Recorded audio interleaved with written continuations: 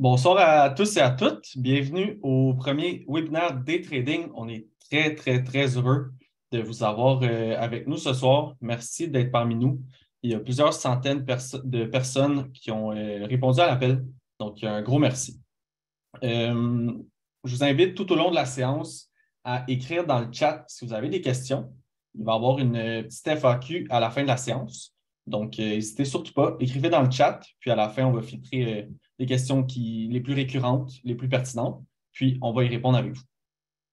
Anthony, tu peux changer de diapo. Donc, euh, on a mis une petite divulgation de risque, simplement pour vous mentionner qu'il n'y a aucune certitude en bourse et que ce dont on va parler durant la séance, durant le webinaire, ce ne sont pas des recommandations d'achat, puisque la négociation d'actions, le Forex ou tout autre produit financier comporte un niveau de risque élevé et peut ne pas convenir à tous les investisseurs. Prochaine diapo, s'il te plaît. Donc, euh, personnellement, je m'appelle Laurent. Ça fait un an que je travaille euh, avec François et avec Anthony. Euh, je me considère très chanceux de travailler avec François, qui est un trader de plus de 28 ans d'expérience. Et je vais maintenant lui céder la parole, ainsi qu'Anthony, qui sont les deux personnes qui vont animer le reste de la séance. Donc, bon webinaire tout le monde. Bon, euh, je vais prendre la relève. Euh, bonjour tout le monde. Merci d'être là. comme Laurent dit, le premier webinaire euh, des trading. on ne va pas passer à travers toute notre expérience. Vous nous connaissez un peu toutes. Mais je voulais prendre peut-être un peu le temps de vous présenter Laurent et Anthony. Ils font partie de l'équipe des trading. Ça fait un certain temps un peu comme choisir des titres de qualité, ça m'a pris du temps à trouver les bonnes personnes. Puis c'est les deux très bonnes personnes qui, me complètent bien. Un peu comme euh, qu'on va vous présenter tantôt, là, à la fin, euh, ceux qui ne sont pas habitués, ceux, qui le savent, mais ceux qui ne le savent pas, Laurent et Anthony animent la session euh, express avant ma session matinale à moi, là, en pré-market. Ils parlent de un peu les marchés, un peu qu'est-ce qu'on voit en direct. Donc, ça fait plusieurs euh, mois, je crois, qu'ils font, euh, pas je crois, ça fait plusieurs mois qu'ils font ça. Donc, c'est des personnes de confiance. Donc, euh, ce n'est pas Joe Blow pris sur au coin de la rue. Laurent et Anthony ils ont quand même été formés, la base, tout. je leur ai montré un peu la façon qu'on fonctionne dans des trading. Donc, gênez-vous pas. Quand vous voyez dans le groupe Facebook répondre Laurent ou Anthony, vous pouvez leur faire confiance. Puis, qu'est-ce qu'il vous dit? vous dirige vers les bonnes ressources. Donc, on va commencer euh, le webinaire. Euh, le webinaire, un peu comme quand je fais mes podcasts. Euh, le webinaire est supposé durer 1h30, mais si je me fie au podcast quand, que je tourne avec Patrick, qui aurait aimé ça être présent parmi nous à soir, mais il ne pouvait pas, les, le, webinaire est supposé durer 1h30. Mais allez vous chercher du popcorn, ça se peut que ça dure un peu plus longtemps. Je vous le dis d'avance. Donc, avec la période de questions, donc c'est ça, c'est un webinaire gratuit. Euh, on va essayer de vous en donner le plus pour, euh, pour votre argent, même si c'est gratuit. Euh, pour les plus expérimentés, vous n'allez peut-être pas apprendre beaucoup, beaucoup de choses, mais ça va être quand même intéressant. Puis des fois, c'est bon de se faire remémorer quelques trucs. Sinon, s'il y a des nouveaux flambettes, comme que je dis souvent, vous allez voir, c'est quand même assez intéressant. On va parler d'un peu de tout. Et puis, comme Laurent a dit, euh, il y a une section euh, chat room. Donc, euh, vous pouvez parler, poser vos questions là-dedans. On va être plus de 200, on va être entre 200 et 300 personnes participants, je crois. Donc, il va y avoir beaucoup de questions. On ne pourra pas répondre à toutes, toutes les questions, mais on va filtrer les, pas les meilleures questions, mais on va filtrer les questions qui reviennent peut-être le plus souvent, puis qu'on juge un peu plus pertinentes. On ne parlera pas de quel stock acheter, quel stock vendre. C'est-tu bon d'acheter ce stock-là? C'est vraiment, on va parler de l'investissement, le trading en général. C'est vraiment un, cours, on peut dire un cours, une information, un, webinaire de base. Donc, euh, suffit les présentations. On va, euh, on va commencer tout de suite. Donc, euh, je te laisse la parole, Anthony. Merci François, merci Laurent. Vraiment content d'être avec vous ce soir. Il y en a plusieurs qui me connaissent déjà, comme François mentionnait. Puis pour les autres, ben, je suis bien content d'avoir la chance de vous parler ce soir et de vous partager des, concepts intéressants au niveau de l'investissement en bourse, du trading aussi. Donc, on va vraiment faire le tour sur plusieurs sujets. Comme François mentionnait, euh, ça va peut-être être, euh, de base pour certains qui sont plus avancés, mais des rappels, c'est toujours important. On sait à quel point euh, il y a beaucoup d'informations à connaître pour performer en bourse puis en trading. Donc, vous allez trouver ça intéressant, j'en suis certain. commence avec un petit plan du webinaire, simplement vous présenter quelques éléments dont on va parler aujourd'hui. Puis, euh, si vous avez des questions à travers ça, comme euh, François et Laurent mentionnaient, n'hésitez pas à les écrire dans le chat. Puis, Laurent aussi, si, tu, si tu juges que c'est pertinent d'en parler à un moment opportun, ben, n'hésite pas à, me couper, à le mentionner. Puis, François ou moi, on va pouvoir, pouvoir répondre aux questions. Donc, on va parler des marchés boursiers pour commencer, faire un petit peu d'explication à ce sujet-là. C'est quoi une action, les marchés boursiers euh, principaux en Amérique du Nord? On va ensuite enchaîner avec euh, les taux d'intérêt, la réserve fédérale aux États-Unis, l'inflation, donc des sujets qui sont euh, d'actualité. On va enchaîner après ça avec l'investissement à long terme, les intérêts composés. Puis ensuite, on va, on va transférer vers le trading. Donc, on va parler de certains conseils importants à respecter, le plan de trading. On va également analyser une trade que Laurent va nous partager euh, sa propre trade que lui avait fait. On va parler de courtier aussi, plateforme de trading, puis euh, les questions à la fin et les cadeaux bonus aussi qu'on va vous partager à la fin, comment vous pouvez les obtenir. Donc, tout d'abord, le fonctionnement du marché des actions, le, stock market qu'on appelle en anglais. Comment ça se passe en fait? C'est que, euh, comme vous savez probablement, ben, il y a des milliers de compagnies qui sont cotées en bourse, des Apple, Microsoft, Google, etc. Toutes des compagnies qui sont cotées en bourse. Mais au départ, il ne l'était pas. Donc, le processus, ça commence avec ce qu'on appelle un IPO en anglais, donc une première offre publique de vente. Donc, la compagnie, pour être cotée en bourse, elle va euh, devenir publique. Donc, elle doit produire ses résultats financiers, annoncer ses, chiffres. Elle émet des actions pour justement lever du capital. Donc, par exemple, Apple qui voudrait émettre de nouvelles actions à 100 l'action, là, je dis des chiffres au hasard, les gens peuvent acheter ces actions-là, puis l'argent permet à Apple, après ça, d'avoir du capital supplémentaire pour faire soit des investissements au sein de la compagnie. Donc, c'est généralement la raison pour laquelle la compagnie va entrer en bourse. Après ça, ben, monsieur, madame, tout le monde, comme vous et moi, on peut acheter ces actions-là. Puis c'est quoi en fait une action? C'est une part de l'entreprise. Donc, quand on achète une action, on achète une petite part de la compagnie.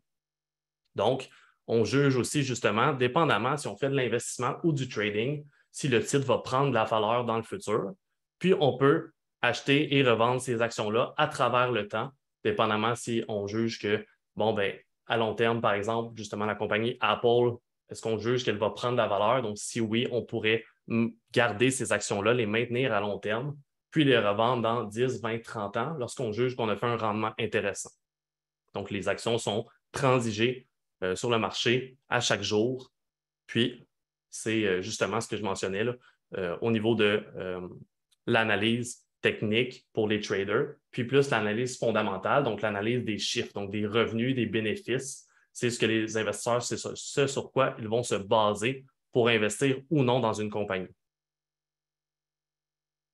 Ici, on peut voir ce qu'on appelle une carte thermique. Donc, ça, c'est le rendement des actions au courant de l'année 2022. Donc, depuis le 1er janvier de cette année, on peut voir en haut à gauche MSFT, donc ça, c'est Microsoft. En dessous, on a Apple, AAPL, donc ce sont les deux des plus grosses compagnies sur le marché des actions.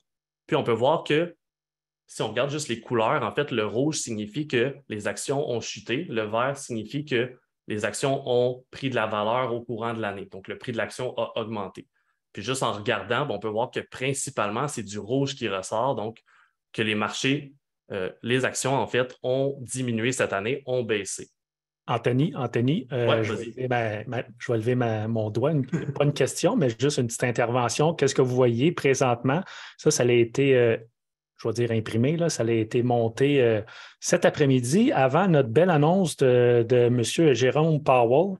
Donc, si, on, si vous voyez Microsoft moins 27% présentement à l'image.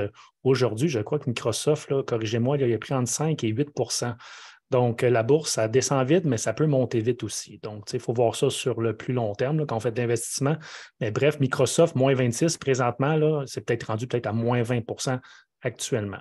Donc, la carte thermique, là, on va vous envoyer des liens plus tard, mais vous pouvez voir ça en, en direct là, via les différents outils qu'on va vous présenter. Exactement. la carte thermique peut être utilisée euh, à chaque jour, euh, sur cinq jours, sur un horizon d'un mois, un an. Donc là, on l'a pris pour montrer le rendement de l'année 2022. Puis si vous êtes euh, en groupe Facebook, Telegram, Club des Initiés, vous voyez probablement passer le, suivi des marchés boursiers à chaque jour vers 4h30. On utilise justement la carte thermique du rendement journalier des actions. Donc aujourd'hui, on l'a partagé. Euh, comme François mentionnait, Microsoft est, je pense, plus 6% quelque chose autour de ça. Puis la majorité des actions étaient dans le vert pour aujourd'hui. Donc, les marchés boursiers, les actions que vous venez de voir à la page précédente font partie des marchés boursiers américains. Donc, le New York Stock Exchange, le NYSE, NIS, ou le Nasdaq, qui est un marché aussi où est-ce que c'est davantage des euh, titres technologiques, comme Apple, Meta, Microsoft, etc.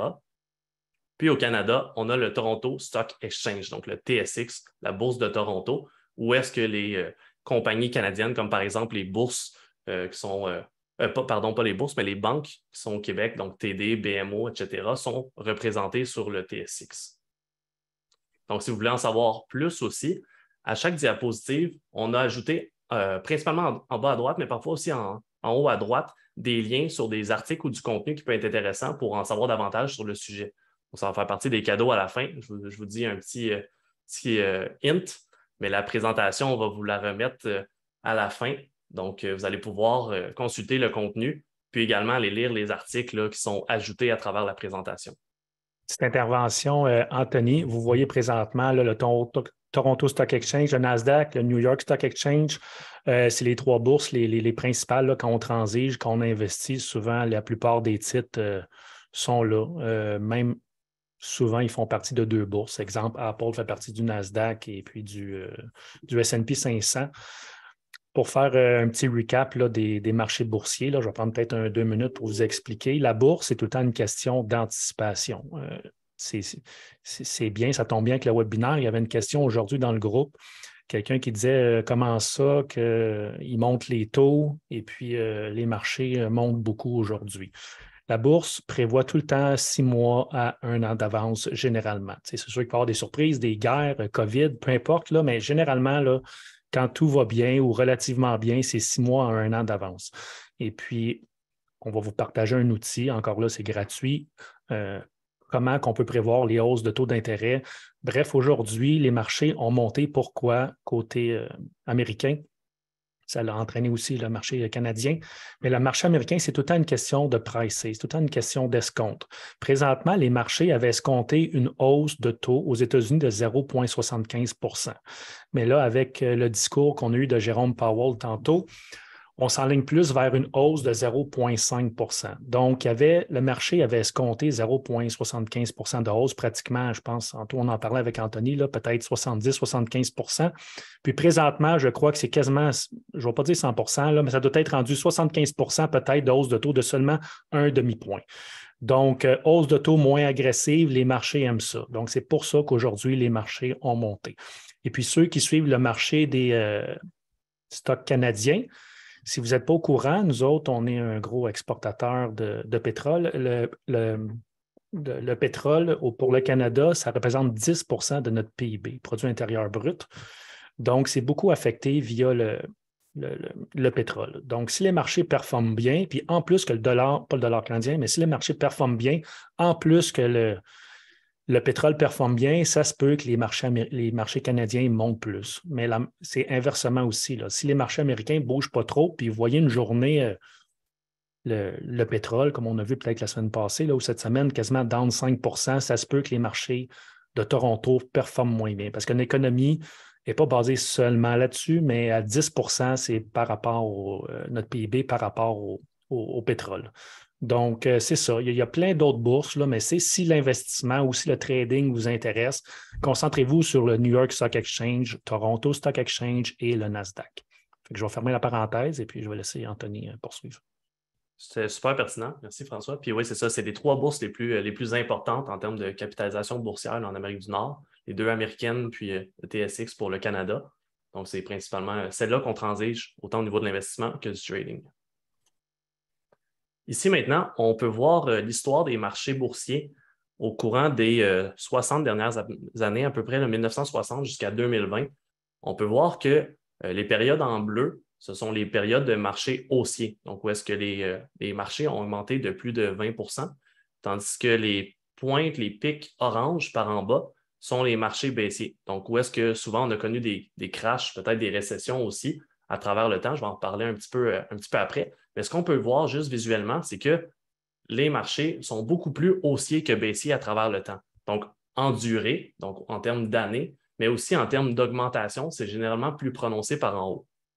On peut voir aussi, euh, c'est mentionné dans le texte, la moyenne des marchés haussiers, c'est plus de 4 ans, avec un rendement cumulé d'environ 150% puis les marchés baissiers, 11 mois à la baisse, avec une perte cumulée de 32% Donc, à travers le temps, on peut voir que euh, les marchés boursiers ont une tendance haussière. Donc, ça ici, ça représente le SP 500, qui est un indice boursier qui représente les 500 plus grosses entreprises américaines. c'est une représentation assez globale du marché américain puis des marchés boursiers en Amérique du Nord. Donc, justement, quand on parle d'investissement, ça dit dans le titre faire preuve de patience en investissement parce qu'on pense à long terme. Donc, ce n'est vraiment pas la même chose, le trading et l'investissement. Au niveau de l'investissement, on va parler en termes d'années. Tandis qu'en trading, on parle généralement en termes de jours. Puis, les marchés boursiers, ici, vous voyez à gauche, ont chuté de, euh, en 2020, avec la crise sanitaire du COVID-19, d'environ 34% du sommet jusqu'au creux, 56% en 2008 avec la crise immobilière, 49% avec la bulle technologique des années 2000, 34% en 87 avec le Black Monday, puis 48% en 73 avec la crise du pétrole. Donc, c'est tous des euh, événements marquants qui ont fait chuter les marchés boursiers mais ce qui s'est passé, par contre, par la suite, c'est qu'à chacune de ces crises-là, les marchés ont par la suite repris et atteint de nouveaux sommets à chaque fois. Donc, ils ont remonté ces, euh, creux-là. Une petite intervention, euh, excusez moi Anthony. Euh, vous voyez les années, puis si on prend 2022, on a fait le test tantôt. le Nasdaq, je crois, dans son pic, pas dans son pic, mais dans son plus creux, était down, était à la baisse de 31% et l'S&P au-dessus de quasiment 25% Donc, euh, les années que vous voyez présentement à l'écran, c'est dans leur creux. Donc, en 2020, dans le creux, c'était moins 34, puis le pire qu'on a vu euh, dans, affiché présentement, c'est le 2008 à moins 56% Donc, il y a beaucoup de monde qui nous demande est-ce que c'est le bas présentement? on peut en tirer nos propres conclusions. On ne connaît pas l'avenir, mais quand le Nasdaq a touché un moins 31% puis l'SP moins 25 je ne veux pas m'avancer, mais je, je, peux m'avancer dans le sens que le pire, je crois qu'on a vécu le pire. Oui, ça peut continuer de chuter, mais je crois que le pire est derrière nous. Là. Quand on a vu des creux de quasiment moins 30% en 2022, si on regarde de 2022, moins 30% puis on compare à ce qu'on voit à l'écran, on est un peu dans les moyennes. Là, il pourrait avoir encore, on, fait des suppositions, peut-être encore un autre 5-10% de baisse, mais un peu comme je discutais tantôt avec Anthony et Laurent, quand, contrairement à ces années-là, ces années-là, c'est arrivé, ça l'a quand même assez vite, puis on ne l'avait pas vraiment prévu. Mais présentement, depuis 2020, je crois, on parle de récession, on parle de récession, on parle de récession quand tout le monde presse une récession ou quand tout le monde anticipe une récession, souvent, ce n'est pas ça qui se passe. Parce que le monde font attention, puis en faisant attention, le monde euh, dépense peut-être un peu moins ou le monde font plus attention. Donc, la récession, elle va-t-elle arriver? On ne le sait pas. on est peut-être dans une mini-récession, mais on va avoir un crash de 60% il y en a beaucoup qui, pensent ça, mais de toute évidence, si tout le monde pense qu'il va y avoir un crash, en théorie, il ne devrait peut-être pas en avoir. Je ne veux pas me commettre, tout est possible, mais bref, si on prend 2022, si on rajouterait 2022 présentement, là-dessus, il faudrait rajouter moins 30% Donc, moins 30% on est peut-être un peu dans le range des pires crises qu'on a vues présentement. Donc, sans vouloir caler le bas, il faut, euh, des fois, il faut prendre du recul.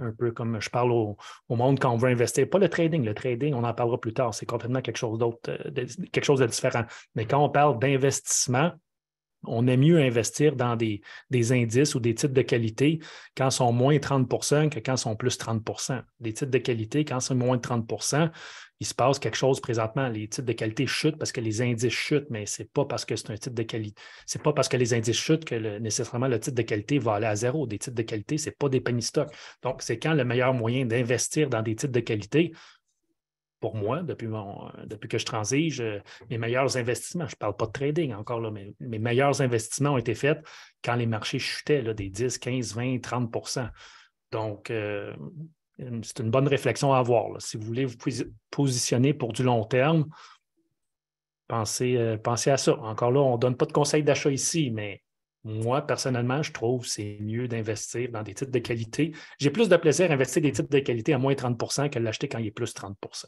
C'est juste ça que je voulais dire. Donc, euh, on va continuer, Anthony.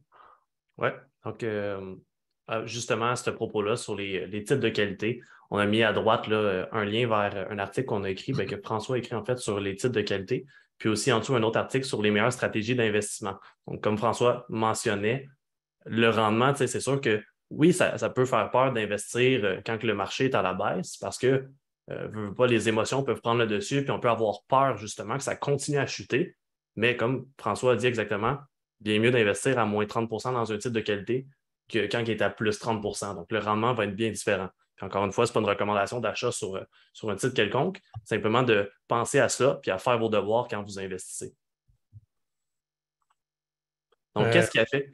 Pardon, euh, juste pour. Euh, on pas besoin de revenir à l'autre slide. Là, puis, on parle d'investissement, on va peut-être en parler plus tard. Ou on, partage, surtout ce temps-ci, vu que les marchés chutent, on parle le, fameux DCA, le Dollar Cost Averaging, moyenné à la baisse sur des titres de qualité. Laurent va vous partager peut-être le lien sur le chat room, mais il y a tout le temps du monde qui dit ben, Moi, j'investis tout euh, début d'année ou, quatre fois par année.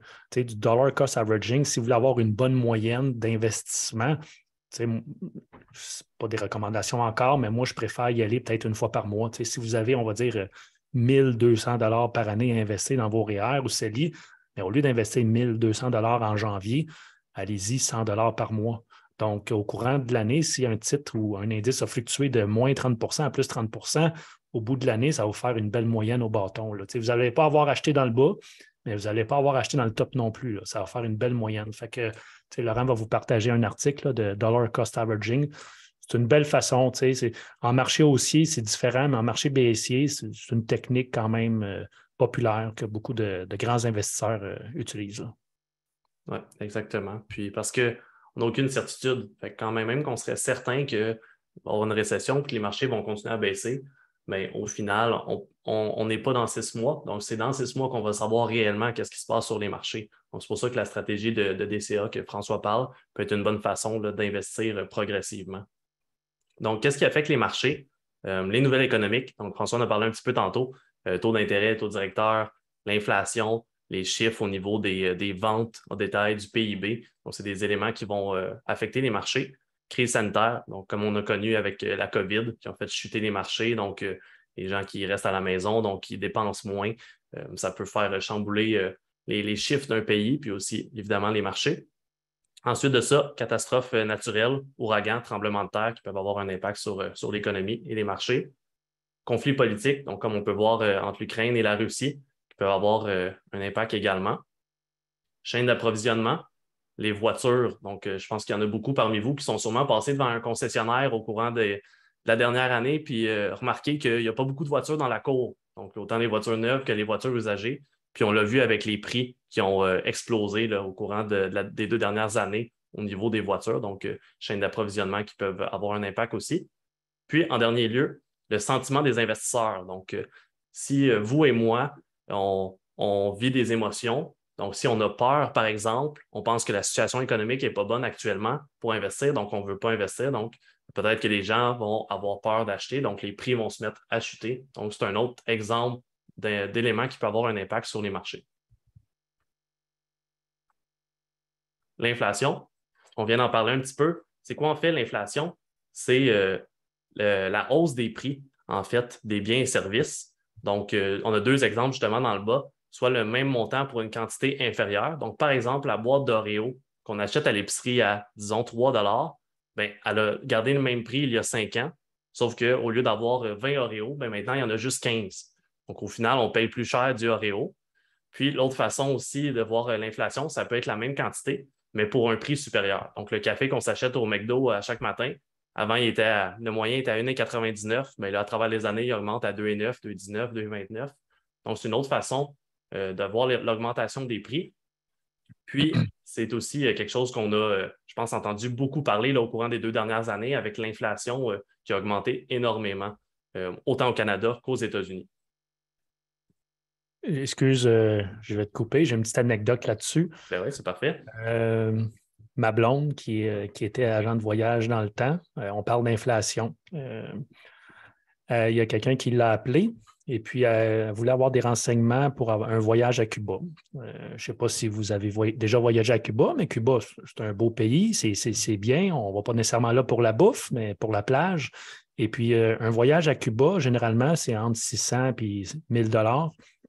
Et puis aujourd'hui, elle a sorti une cote pour Cuba, Varadeo, un, un 4 étoiles pas un 5 étoiles, puis on s'entend qu'à Cuba, les étoiles, c'est important. Bref, un 4 étoiles pour Cuba, 1700 Je ne sais pas si vous avez déjà été à Cuba en juillet ou en Floride en, juillet, euh, juin, juillet, il fait extrêmement chaud. Normalement, on ne va pas nécessairement dans ces pays-là en été.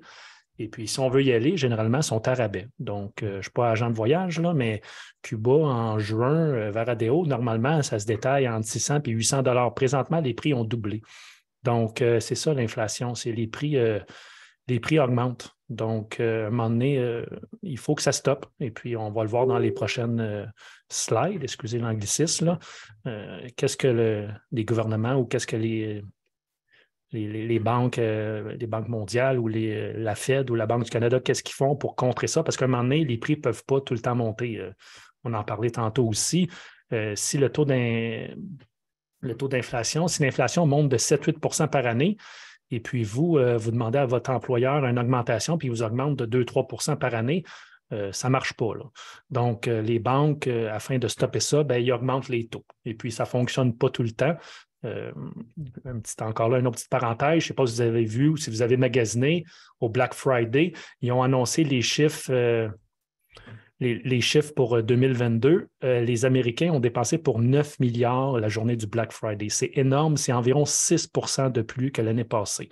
Donc, présentement, la Fed augmente les taux pour stopper le monde de dépenser, pour ralentir du moins, et puis euh, le monde dépense plus. Donc, c'est pour ça que les taux d'intérêt, comme Anthony va en parler tantôt, avec l'outil aussi qu'on va vous partager, la Fed va continuer à monter les taux tant que le monde va dépenser, tant que les, ventes au détail, les retail sales, on les voit, les chiffres sont plus gros, le monde dépense pareil. Donc, à force de monter les taux, à un moment donné, le, monde va arrêter de dépenser, ils vont moins dépenser, les prix vont stabiliser, ils vont rechuter un peu. Mais bref, euh, on le voit, là, euh, vous le voyez présentement à l'écran, avec un Big Mac avec quatre boulettes, présentement juste une boulette, ou un café à 25 cents ou à 1,59. Moi, je fais le parallèle avec les voyages. Moi, j'adore voyager, donc euh, ça me touche un peu plus. Donc, euh, un Cuba à 800 pièces normalement, puis aujourd'hui qui trade à, 1700 dollars, c'est pas normal. Donc, euh, je vais refermer la parenthèse là, mais je voulais donner un exemple frappant actuel, comment que c'est euh, quand même spécial qu'est-ce qu'on vit présentement. exactement. l'inflation, comme, comme tu mentionnais, François, là, qui est 5, 6, 7, 8% qui est même allé toucher le 9% aux États-Unis.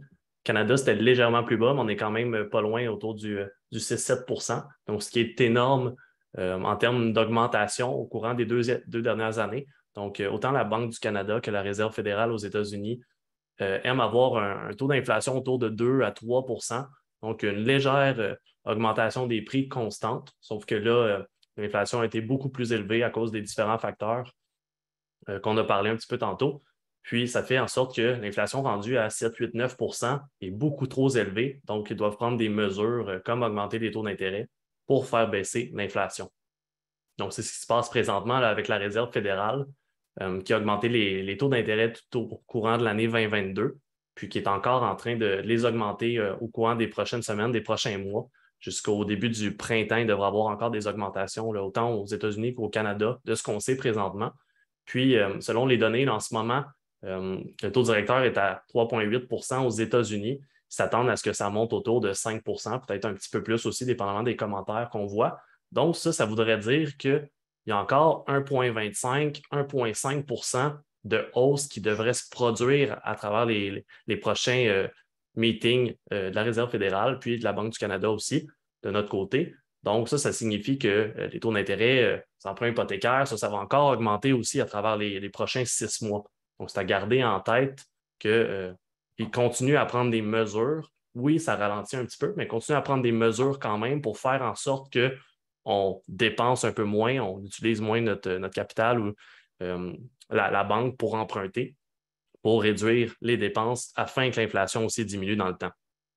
Puis revienne à des niveaux standards de 2 à 3% Évidemment, ça ne sera pas du jour au lendemain, ça va prendre du temps, mais progressivement mettre des mesures en place pour ça. Donc, l'impact de l'inflation, comme je mentionnais, on veut une hausse moyenne de 2 à 3% par an. Puis là, ce qu'on vous a montré dans le, dans le graphique en bas, c'est la dépréciation de votre argent euh, sur, le, sur un nombre d'années X. Donc, par exemple, si on a, disons, 10 000 dans notre compte de banque, puis on le laisse là dans notre compte de banque, donc parce qu'on n'a pas de grosses dépenses ou parce qu'on a peur d'investir sur les marchés aussi. Donc, on, le laisse là, puis on se dit qu'on va attendre. On va le garder là en sûreté. Puis, ce qui se passe, en fait, à travers le temps, c'est que notre argent perd de la valeur. Donc, on a encore le 10 000 dans notre compte de banque, mais c'est un petit peu comme avec la boîte d'Oreo ou le voyage à Cuba, c'est que notre argent ne peut plus acheter la même quantité que ce que ça valait au départ. Donc, sur 40 ans, on peut voir le chiffre en bas. Le 10 000 perd presque 7 000 de valeur. Donc, il peut à la fin seulement acheter pour 3 000 Donc là, ça signifie que ce n'est pas une bonne chose de justement laisser son argent dans son compte de banque à rien faire. Puis d'autant plus qu'on parlait tantôt aussi, comme François mentionnait, sur les salaires. Si l'inflation est à 6, 7, 8% mais de, l'autre côté, le salaire augmente juste de 2-3% par année, bien, on s'approuvrit également à court terme, justement, à ce, niveau-là, en plus euh, de l'inflation qui est super élevée, qui vient diminuer la valeur de notre, argent dans le temps. Donc, la solution à ça, à l'inflation, c'est d'investir notre argent en bourse. Donc, il y a plein de produits financiers qui sont, qui sont possibles à investir, d'autres, certains qui sont plus sécuritaires, d'autres qui sont plus à risque. Puis, comme on mentionnait tout à l'heure, il n'y a aucune certitude. Donc, peu importe ce qu'on choisit comme produit, pratiquement, en fait, parce qu'on peut mettre un, un, bémol, je vais te laisser peut-être en parler, François, mais euh, avec l'exemple qu'on a ci-dessous, donc le rendement du SP 500. Donc, ce qu'on vous parlait tout à l'heure, le graphique qu'on vous a montré où est-ce qu'on voyait les, euh, les pointes bleues et oranges des marchés haussiers et baissiers, qui est le rendement des, titres principaux américains, ça, ça augmente graduellement à travers le temps. Puis vous pouvez voir au début des années 2000, puis en 2008, la ligne mauve, où est-ce qu'il y a eu des creux, c'est ce qu'on parlait tantôt, la bulle technologique, puis la crise immobilière, c'est là où est-ce que les marchés ont chuté. Mais on peut voir par la suite qu'ils ont remonté dans le temps, puis qu'ils sont venus faire de nouveaux sommets. Puis si on prend notre exemple du 10 000 de tout à l'heure, qui avait été placé dans le SP 500 en 1995, bien, 27 ans plus tard, on se retrouve en 2002. Ce 10 000 $-là aurait fructifié d'environ 1600% ce qui nous donnerait une somme de 160 000 Donc, ça, c'est basé sur des vrais chiffres. Donc, le SP 500 a un rendement moyen annuel de 10% depuis les 80 dernières années. Donc, à chaque année, des fois, ça monte de 25, des fois, ça monte de 7% des fois, ça perd 3 mais au final, sur les 80 dernières années, annuellement, c'est un chiffre moyen d'augmentation de 10% Donc, ce qui donnerait justement ce rendement-là, qui n'est pas inventé, qui est vraiment calculé selon les vrais chiffres, le 10 000 donnerait un rendement de 160 000. Puis euh, je vais juste faire une petite intervention. Pourquoi qu'on prend le S&P 500? Parce que le S&P 500, on entend souvent aux nouvelles le Dow Jones, le Dow Jones, le Dow Jones, le Nasdaq. C'est très bien, mais tu sais, le S&P 500, ça représente les 500 plus grosses compagnies en Amérique, euh, aux, États-Unis. Contrairement au Dow Jones, ceux qui ne savent pas, le Dow Jones, ça regroupe 30 grosses, quand même 30 compagnies, mais quand même 30 grosses compagnies. Tandis que le Nasdaq, la majorité des indices, c'est des actions de technologie. Et puis, quand on prend le SP 500, c'est les 500 plus grosses compagnies. Il y a des actions de n'importe quoi là-dedans. Il y a des banques, euh, il y a des actions de technologie. Donc, pourquoi que on fait souvent référence au SP 500? Parce que selon moi, c'est le meilleur, euh, anglicisme, le benchmark, c'est le meilleur point de référence parce que c'est quand même 500 compagnies. C'est plus que le Nasdaq 100 qui est juste 100 compagnies. C'est mieux que le Dow Jones qui a juste 30 compagnies. Puis, c'est des compagnies d'un peu tous les secteurs. Donc, euh, on fait beaucoup référence au S&P 500. Je ne vous dis pas d'arrêter de suivre le Nasdaq et le Dow Jones, mais si vous voulez avoir un indice de base, de référence, allez-y avec le S&P 500. Puis les rendements que Anthony explique, c'est des rendements qu'on a depuis 80 euh, ans. Je le sais que le passé n'est pas le garant du futur, mais à un moment donné, si on veut investir pour le long terme, il faut se baser un petit peu sur des rendements. Donc, pourquoi qu'on se base sur le S&P 500? Je me répète, c'est parce que c'est le plus gros indice au monde. Moi, je, suis un spécialiste des contrats à terme. C'est le contrat à terme le plus transigé au monde. Un peu, on ne veut pas rentrer dans le sujet, là, mais quand on parle de la crypto-monnaie, c'est quoi vous regardez? C'est quoi le benchmark? C'est quoi la base de la crypto-monnaie? Vous avez beau vous dire, regardez, je regarde Cordana ou je regarde le petit chien ou je regarde Dodge c'est quoi le monde regarde? Il regarde le Bitcoin. Fait je ne veux pas comparer le Bitcoin au SP 500, mais pour la crypto-monnaie, le Bitcoin, c'est la référence. Si vous voulez avoir la référence pour le marché des actions, regardez le SP 500. Il ne faut pas lâcher le Dow Jones. Le Dow Jones, c'est très bien, mais c'est seulement 30 compagnies. Donc, euh, puis les chiffres qu'on vous montre à l'écran, ce pas des chiffres, comme Anthony dit, ce pas des chiffres lancés en l'air, selon les, pas selon les études, selon les chiffres, les statistiques. Moi, je suis un, suis quelqu'un de cartésien, je me base seulement sur les, euh, à la bourse, là, je me base euh, surtout sur les chiffres. Les chiffres parlent. On a beau dire n'importe quoi, les chiffres, ça parle. Donc, si on prend le rendement du S&P 500, regardez le, rendement du S&P 500 depuis les 50, les 80 dernières années, c'est entre 8 et 10% annuel. Donc, euh, il faut se diversifier, mais si on avait seulement un produit à investir pour le long terme, le S&P 500, comme Anthony dit, il peut avoir des moins 20% il peut avoir des plus 20, mais au bout de la ligne, ça rapporte entre 8 et 10% par année. Mais là, n'allez pas pitcher tout votre argent dans le S&P 500. Il faut se diversifier. Mais pour le, webinaire et puis pour euh, quand on parle dans le groupe, on parle beaucoup du S&P 500 parce que c'est la référence. Donc, euh, je ferme la parenthèse. Tu peux continuer, Anthony. Parfait. Donc, euh, on a parlé d'investissement à long terme avec le S&P 500. Puis une autre euh, merveille maintenant qu'on aborde, c'est les intérêts composés. Donc, euh, justement, quand on investit, François parlait tantôt de la, stratégie de DCA, donc d'investir un petit montant, par exemple, à chaque mois, un 100 à chaque mois qu'on a investi, bien, on a justement ce scénario-là à gauche. Donc, si on prend, par exemple, un placement initial de 5 000 donc on investit de 5 000 en partant, puis après ça, on ajoute mensuellement un 100 sur 40 ans, ça nous donne au total un montant investi de 53 000 Puis si on prend un rendement annuel de 8% donc tantôt, François mentionnait justement que c'était entre 8 et 10% donc on a pris la fourchette inférieure euh, de, cette, euh, de ce chiffre-là. Puis ça nous donne un rendement complet total de 470 000 au bout de 40 ans. Mais sur ce 470 000-là, comme je viens de mentionner, on en a investi 53 000. Donc, on est allé faire 417 000 d'intérêt sur nos placements initiaux, le 5 000, mais aussi grâce à tous les 100 dollars qu'on a ajoutés à travers le temps qui ont permis d'aller faire un super bon rendement. Donc, 53 000, on sort avec 470 000, c'est presque 10 fois ce qu'on a investi à travers le 40 ans. si on prend de l'autre côté le scénario à 500 dollars, tu as-tu mentionné, euh, tu veux-tu placer un mot euh, tout de suite, François? Oui, euh, on, parle de chiffres, on parle 100 dollars par mois. 100 dollars par mois, on parle de 1200 dollars par année. Je crois que c'est quand même euh, abordable pour plusieurs. Puis dans l'autre exemple, quand Anthony va parler, on parle de 500 dollars par mois, qui représente 6000 dollars par année. C'est quand même un peu plus d'argent, mais mon, mon point, puis on en discutait off the record, plus qu'on est jeune, plus qu'on commence tôt, plus qu'on peut, euh, cette courbe-là peut euh, s'accentuer beaucoup plus Oh, moi, j'ai sorti des chiffres, là. Je, parle à mes enfants des fois, placer un certain montant, on voit 400 000, mais ça peut monter à 500 000, puis à 1 million, puis à 2, 3 millions quand même assez vite, dépendamment comment on place. Mais ma question est, euh, ceux qui sont dans le groupe, euh, présentement, on est comme 275 participants, j'aimerais ça savoir, c'est qui les plus jeunes? Peut-être taper votre âge là, dans, dans le chat. Si, si, ça vous intéresse, là, éventuellement, 26 ans, c'est bon, bon, 25, 25. Éventuellement, je n'ai parlé, là, euh, j'aimerais ça peut-être donner un cours là, euh, de, base aux enfants, euh, pas, aux enfants, excusez, aux adolescents, peut-être de 17 ans, 18 ans. C'est l'importance de commencer jeune. Je n'ai pas commencé à 18 ans à placer de l'argent de côté. Moi, j'étais trader, je tradais, je tradais. J'ai commencé beaucoup plus tard à investir. 14 ans, voyons, 14 ans, Chloé, wow, c'est bon. T'es 14 ans, j'aime ça. Fait que, bref, comment ces jeunes, ceux qui sont jeunes, là, 14 ans, 15 ans, 16 ans, parlez-en à vos, parents. Dites, papa, je veux placer peut-être 50 par mois, 100 par mois euh, dans des, fonds communs, des fonds de l'SP 500, pas, pas nécessairement des actions. On va vous envoyer le webinaire, là, vous, vous montrez ça à vos parents. Mais bref, des produits quand même sécuritaires. Et puis, euh, il y a un calculateur, là, euh, je, je vous invite, on va envoyer les liens, peut-être Laurent peut le faire. Euh, il y a une calculatrice d'intérêt composé. Vous dites, si moi, je place 100, euh, 100 dollars par mois, avec un taux d'intérêt de 8% pendant 40 ans, pendant 60 ans, pendant 20 ans, qu'est-ce que ça va donner au bout de la ligne?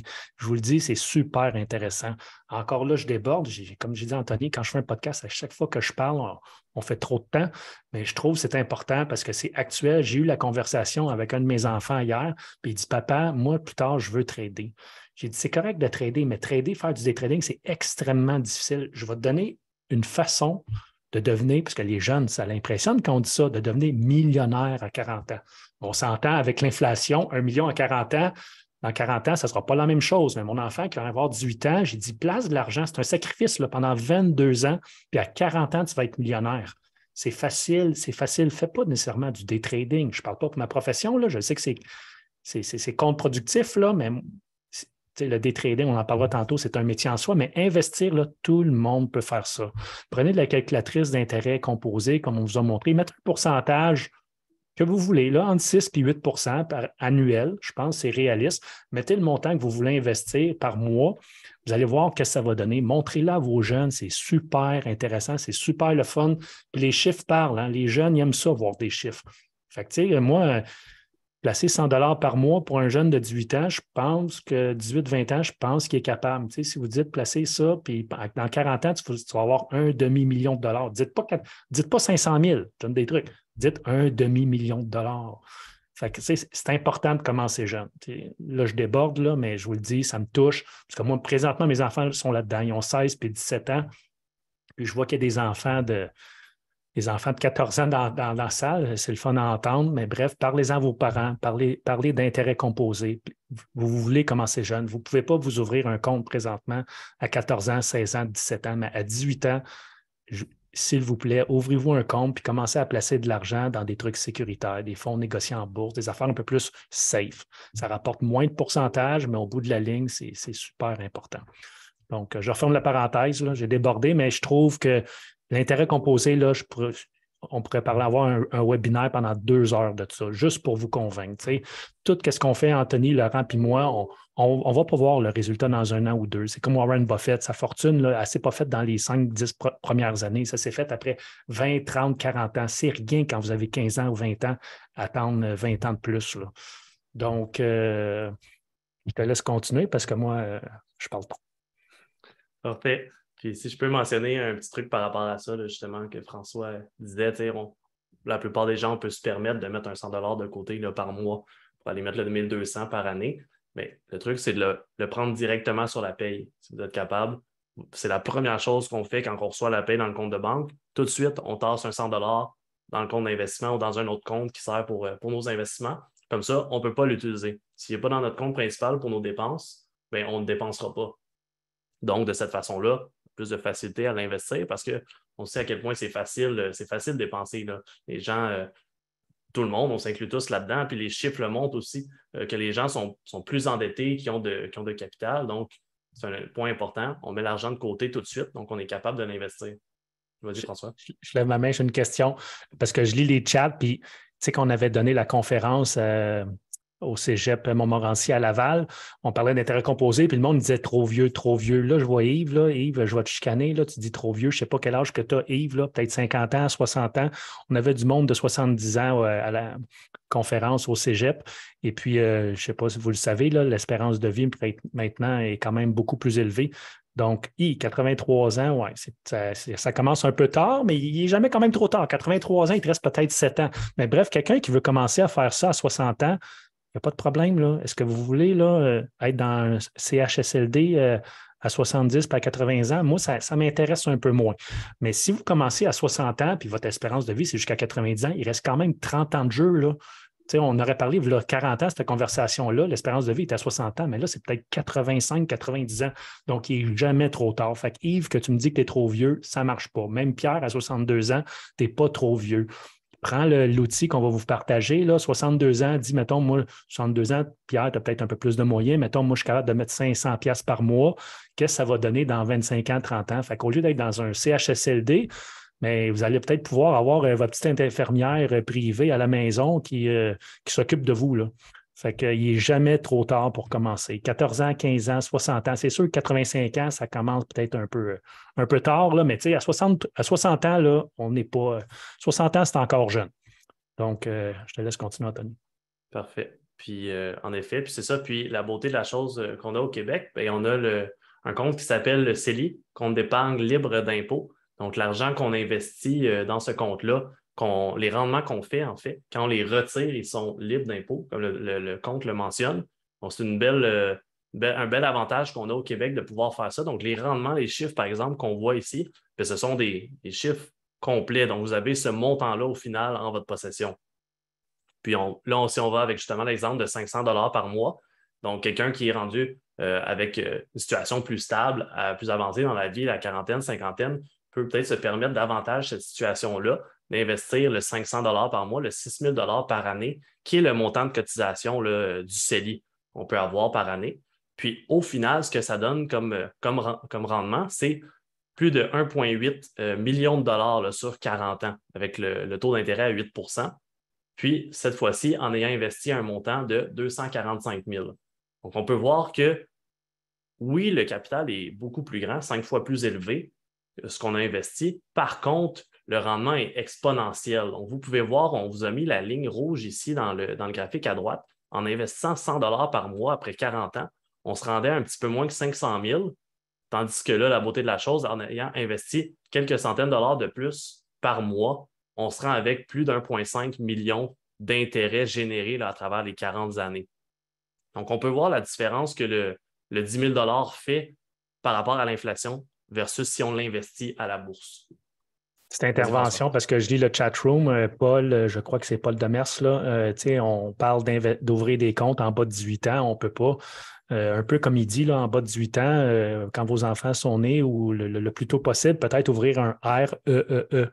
On ne va pas commencer à donner un cours là-dessus, là, mais tout l'argent que vous mettez dans un REEE, e je crois, moi, quand j'ai commencé à faire ça, le gouvernement donnait jusqu'à concurrence de 20% Maintenant, je pense que c'est jusqu'à 30% Donc, vous mettez un montant, puis le gouvernement cotise de 30% Vous faites 30% par année. Qui dit mieux?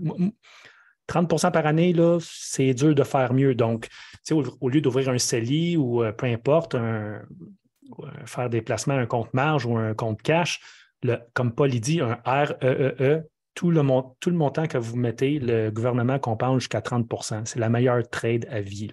Donc, euh, pour vos jeunes, peut-être commencer avec un REEE. E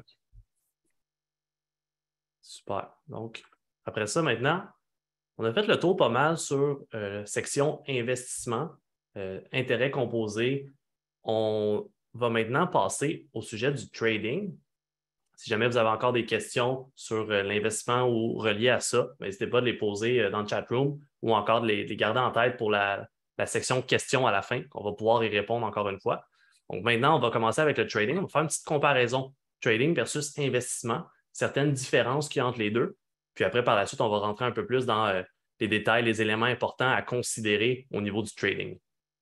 Donc, l'investissement, comme je mentionnais tout à l'heure, c'est à long terme. Donc, on calcule ça en années, tandis que le trading, c'est plus en termes de jours, des fois même en termes de minutes. Puis, dans le, plus loin des cas, on va aller en semaines peut-être. Un horizon quand même qui dépassera généralement pas un an, tandis que l'investissement, on y va sur du 20, 30, 40 ans.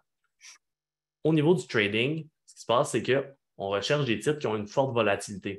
on veut profiter des mouvements à court terme, donc c'est une forte volatilité, tandis que l'investissement, ben, on est là sur un horizon de plusieurs années. Donc, quand même, même que les marchés comme aujourd'hui qui ont monté de 3-4% ben, ce n'est pas nécessairement ce qu'on regarde parce qu'on est investi pour la retraite, pour le long terme, pour des années. Donc, ce n'est pas ça qui est important, puis qu'on se, se fie non plus. L'intervalle de temps, comme je mentionnais, de minutes à journalier, tandis qu'au niveau de l'investissement, on va y aller davantage en termes d'heures, de jours, de semaines et de mois. Pour le trading, on y va avec l'analyse technique. Donc, on analyse les graphiques. On va vous en présenter un tout à l'heure. Laurent va en parler. Donc, on regarde des, bougies, des figures chartistes, des indicateurs qui vont nous aider à prendre nos décisions d'achat et de vente.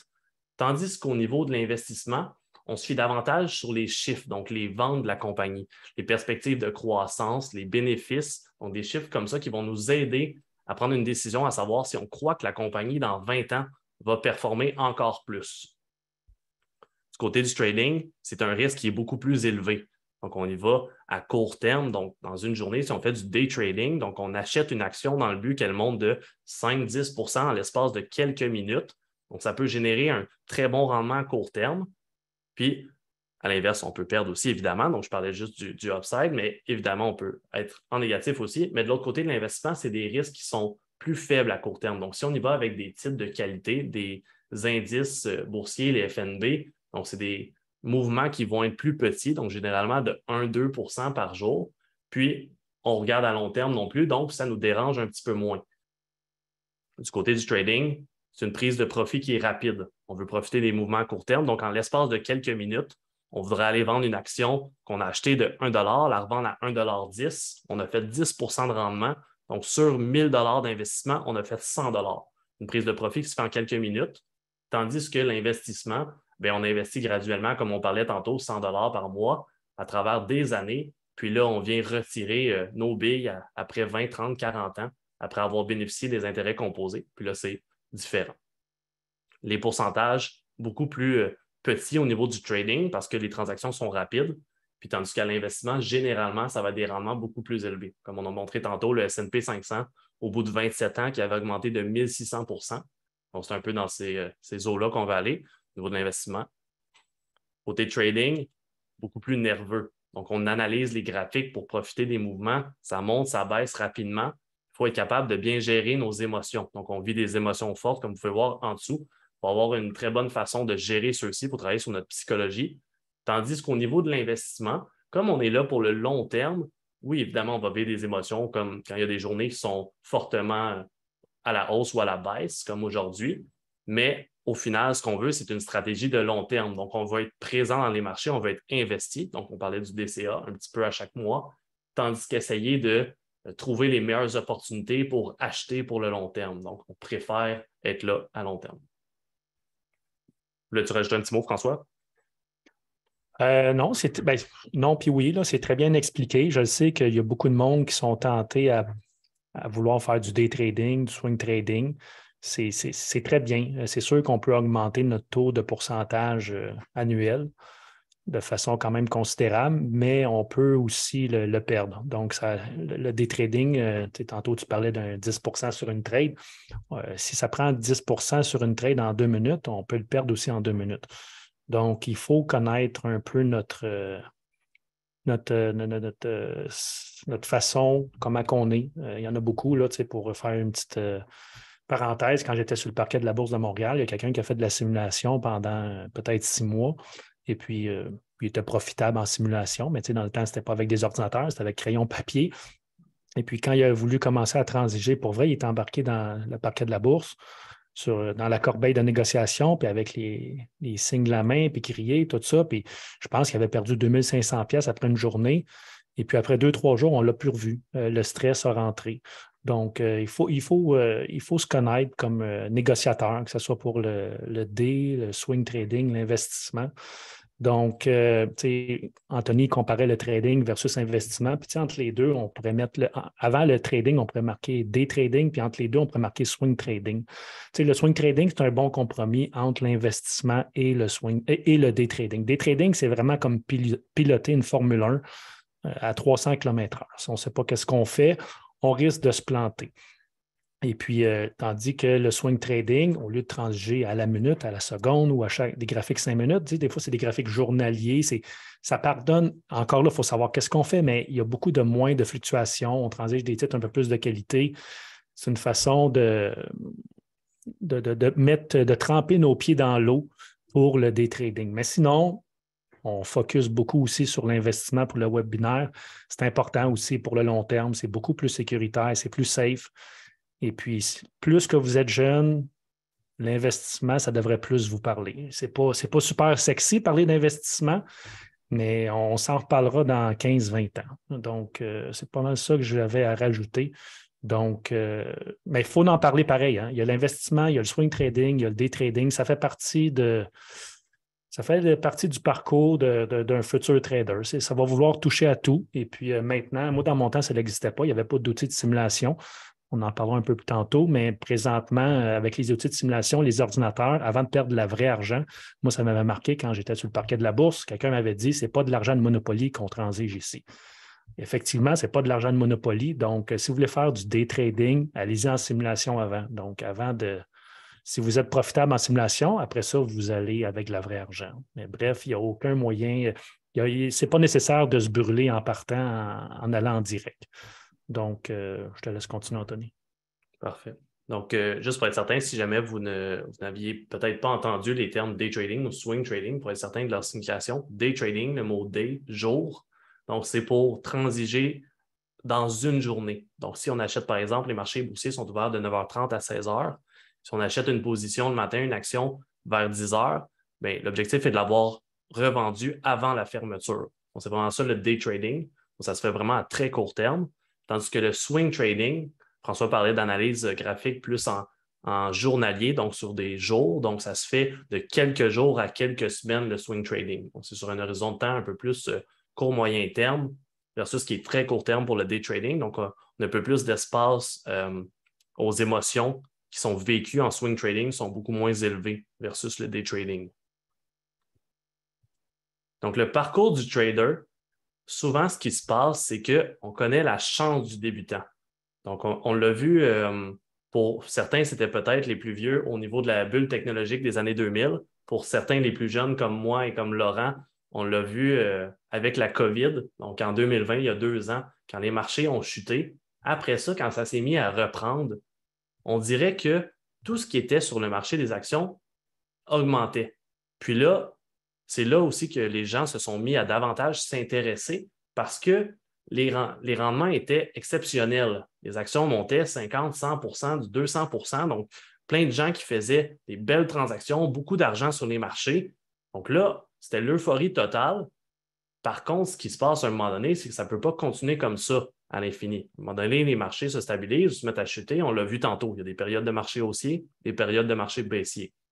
Puis, ce qui se passe à un moment donné, c'est que on se sent peut-être un peu trop en confiance ou invincible, on fait de l'argent, puis là, la réalité nous rattrape parce qu'on a peut-être un manque de connaissances à ce niveau-là ou de gestion de nos émotions. Puis là, ça devient un peu euh, de l'indiscipline, euh, de l'espoir. Donc, les titres qui se mettent à chuter.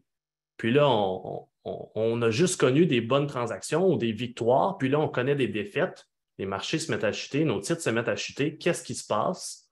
Donc là, on se dit, non, ça va remonter, ça va aller, ça va bien aller. On est patient, on va attendre dépendamment de ce qu'on a acheté, si on a acheté, par exemple, des petites compagnies, puis c'était dans le but de faire du trading à court terme, mais là qu'on se ramasse à maintenir ça sur l'investissement à long terme, mais ce n'est pas une compagnie profitable, mais c'est là qu'on voit qu'on ne peut pas mélanger le trading et l'investissement parce que les stratégies ne sont pas les mêmes de chaque côté. L'investissement, comme François parlait tantôt, on aime mieux avoir des titres de qualité, Côté trading, on veut y aller avec des titres très volatiles. Donc, c'est souvent des compagnies qui ont des plus petites capitalisations, qui sont moins connues. Et là, on arrive à un certain moment où est-ce qu'on est dans le creux ici, que c'est là qu'on se rend compte que ça ne va pas bien. Là, on, commence à réaliser que ça ne va pas bien, qu'on n'a peut-être pas les connaissances nécessaires, on, on a perdu de l'argent. C'est à cette étape-là qu'on se met à vouloir se former, vouloir, en apprendre un petit peu plus si ça nous intéresse, si c'est un domaine qui nous passionne, afin de justement réussir en trading. C'est souvent à cette étape-là que la majorité des traders abandonnent parce qu'ils se rendent compte que ça demande des efforts, ça demande du temps à investir pour comprendre c'est quoi le trading, les différents types de trading, l'analyse technique, en plein de, sujets puis d'éléments complexes, sans parler de la psychologie aussi. C'est là aussi que ceux qui, euh, ceux qui échouent abandonnent à ce niveau-là, mais il y en a quelques-uns qui se prennent en main, qui décident de se former, puis qui, justement, là, font de la simulation, vont se former, ils vont aller chercher des formations. Euh, on a le groupe Facebook, justement, où est-ce qu'il y a plein de contenu. Évidemment, on a le club des initiés, c'est là que les gens aussi apprennent beaucoup. Mais c'est à ce niveau-là qu'on applique la discipline, qu'on se forme, on arrive à mieux gérer notre risque sur nos trades, on met en place une stratégie qui est gagnante. Puis, à travers le temps, un processus. C'est là, la, courbe, la ligne, pardon, est très prononcée. C'est plus un processus qui prend du temps puis qui monte tranquillement, pas vite, vers la profitabilité à travers des mois d'essais, de pratiques, de simulation pour devenir un trader profitable. C'est vraiment le parcours euh, généralement qui, se passe au niveau de, de, beaucoup de traders. Je pense que François, tu vas pouvoir compléter là-dessus, mais j'imagine que tu as vu beaucoup ça à travers les dernières années. Euh, oui, oui. Euh, je parle en, toute connaissance de cause. Euh, j'ai commencé sur le parquet de la bourse à 19 ans, 18 ans et demi. J'ai passé par là. Chance du débutant. Non, moi, je n'ai pas, pas eu la chance du débutant. pour être honnête, le, premier six mois de mon, mon, premier six mois, j'ai perdu 50% de mon capital. Donc, après ça, je me suis formé, blablabla. Après ça, j'ai eu un, après ça, on peut dire, ben, pas la chance du débutant, ça, ça, leur tombait. Au début, je faisais du gambling, indiscipline, espoir. Et puis après ça, j'ai remonté mon compte quand même euh, assez vite. Euh, je l'ai dépassé quand même de beaucoup. Après ça, je me pensais le meilleur. Euh, le marché, je vous le dis, il nous replace tout le temps. Et puis après ça, j'ai perdu, je pense, j'ai perdu 80% de mon capital. Après ça, j'ai dit, ben, j'ai des bonnes bases. j'ai été formé, j'ai des bonnes bases. Euh, je ne veux pas m'enfoncer comme j'ai fait à moi au début, perdre beaucoup plus que, que j'avais dans le compte. Et puis, euh, je suis revenu à la base. Euh, vous allez le vivre. vous l'avez sûrement vécu. On parlait beaucoup de. Anthony parlait de penny stock. C'est souvent de même. Au début, on fait deux, trois bonnes trades. Je ne dis pas que ce n'est pas des bons produits à trader les penny stocks en portant. Sauf que moi, j'aime mieux mettre les chances de mon bord. Je vois avec des titres un peu plus qui ont plus de volume, des titres de qualité, surtout pour l'investissement. Puis pour le, le, trading, on peut, des fois, on peut se laisser tenter des titres à 1 ou 2, ou dollars, mais souvent, les micro penny stock, je ne dis pas que ce n'est pas bon. Il faut juste savoir un peu plus qu'est-ce qu'on fait, mais le monde sont souvent attirés par ça, des titres à 10, 15, 20 cents, parce que ça ne coûte pas cher, entre guillemets. Mais bref, le parcours du trader, je l'ai tout vu. Je l'ai fait, moi aussi, la trade. J'ai acheté une, une compagnie d'assurance euh, de petits animaux aux États-Unis à 25 cents, puis j'ai dit, je vais revendre ça à 10 ça va marcher. Mais ben, ça n'a pas marché. Fait que c'est ça, il y a le jeu, indiscipline, espoir, après ça, pratique et amélioration, puis après ça, on, revient sur l'autopilote, puis on prend confiance en soi. Mais tu sais, toutes ces émotions-là, on peut pas, on parlait de simulation, on ne peut pas nécessairement toutes les vivre en simulation, parce qu'en simulation, ce n'est pas de la vraie argent. Fait que vous simulez en premier. Après ça, je vous garantis, je ne donne pas souvent de garantie, mais là, je vous le garantis, vous allez passer par toutes ces émotions-là. Mais au lieu de passer, dans, passer par ces émotions-là avec du gros capital, allez-y. Dans le temps, il fallait payer pour faire des transactions, 5 10 Moi, quand j'ai commencé, je pense que c'était 30 la transaction. Maintenant, les well, Simple de ce monde, les, euh, les Quest Trade avec des taux fixes à 5 la transaction ou euh, des Disnat à zéro frais de transaction, on peut faire de la simulation. On peut étranger de la vraie argent, mais avec des petites, petites quantités, puis ça ne nous coûte pas une scène de frais. Donc, euh, mettez pas, euh, mettez pas 1000 dollars en jeu en partant, mettez peut-être juste 100 dollars. Puis si vous faites une transaction, euh, si vous perdez juste 5 dollars, c'est pas grave. Puis si vous faites 5 dollars, mais c'est 5 dollars de plus dans vos poches parce que certaines plateformes, les transactions, c'est zéro. Donc avant, on ne pouvait pas trop faire de la simulation en vrai parce que les frais, c'était 10, 15, 20 dollars par transaction. Donc, euh, peu importe le montant qu'on faisait, il y avait quand même 20 dollars qui allaient en transaction. Maintenant, avec des transactions à zéro, ça nous permet de, faire des transactions euh, avec des petites quantités. Donc, il y a la simulation à faire, mais on ne fait pas de la simulation pendant un an. Après ça, quand vous êtes quand même confortable, on y va peut-être en vrai, mais quand je vous le dis, quand vous allez rentrer en vrai, c'est là que les émotions vont rentrer en ligne de jeu. Donc, allez-y avec des petits montants. Puis je vous le dis, même avec des petits montants, vu que ce n'est plus de l'argent de Monopoly, vu que c'est de la vraie argent, faites-vous en pas, vous allez en avoir euh, des émotions. Donc, je te laisse continuer, Anthony. Oui, c'est super pertinent. Euh, effectivement, c'est ça, les, euh, la simulation, c'est super important. il y en a beaucoup, je pense, parmi vous qui l'ont fait. Moi, je l'ai fait aussi. De, on pense que justement, on voit les, la beauté du trading, qu'on peut faire de l'argent, puis on est attiré par le gain. Donc, euh, ça devient un peu du gambling rendu là parce qu'on n'a pas de stratégie, pas de discipline. Puis on investit des grosses positions, puis là, on se ramasse à, perdre des gros montants. Donc, on ne veut pas ça. On commence avec euh, la simulation. Puis une fois que justement, on a une bonne stratégie en place, qu'on est discipliné, puis ça se passe bien, bien là, on fait le saut avec des, des petites positions comme François mentionnait.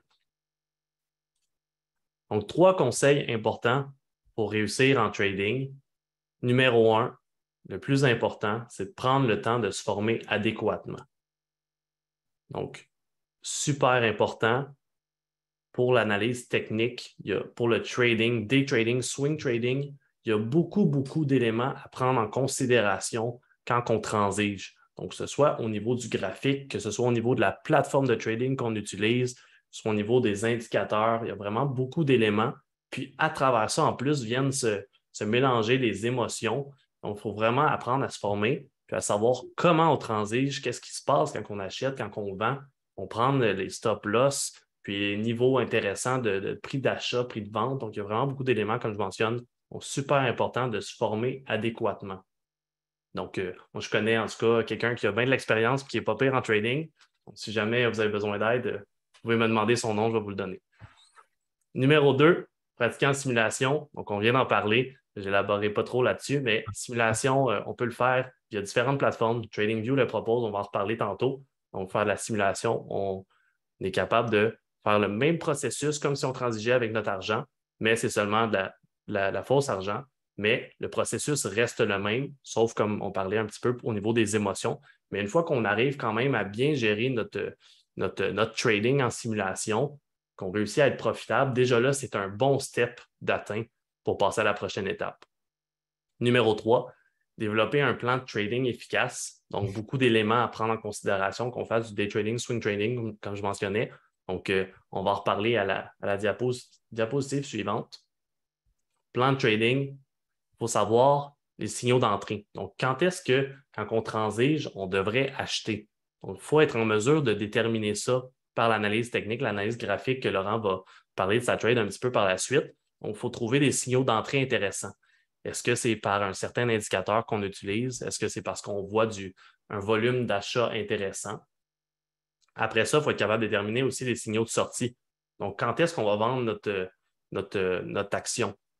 C'est toujours facile quand on voit sur Internet des graphiques de tout le monde. Donc, ils partagent des photos de souvent que justement, c'est pas, euh, c'est un petit peu la fraude. Les gens disent Wow, rendement possible de tant de ou euh, on peut faire ça, on achète là, on revend là. C'est souvent ça qu'on va voir. Tu achètes là, tu revends là. C'est facile à dire quand tu vois le graphique après. Sauf que dans la réalité, dans les faits, quand on est devant l'écran, tu ne sais pas dans une minute, dans cinq minutes, dans trois jours, le prix du titre va être à combien. Parce qu'on n'a aucune certitude. Même avec les meilleurs indicateurs, meilleures stratégies et plans, on peut avoir une idée, bon, à 70-80% du temps, généralement, notre stratégie fonctionne, mais il n'y a aucune certitude. Donc, on ne peut pas se, se commettre puis avoir une certitude. C'est pour ça qu'il faut avoir un signal de sortie. Il faut savoir, parfois, notre analyse ne sera pas bonne. Ça arrive, on peut se tromper. Le marché a décidé que ça n'allait pas du bon côté. Donc, il faut être en mesure de prendre une perte. Puis de l'autre côté, il faut être capable de prendre notre profit aussi à un certain moment, selon des signaux. Après ça, la gestion de risque.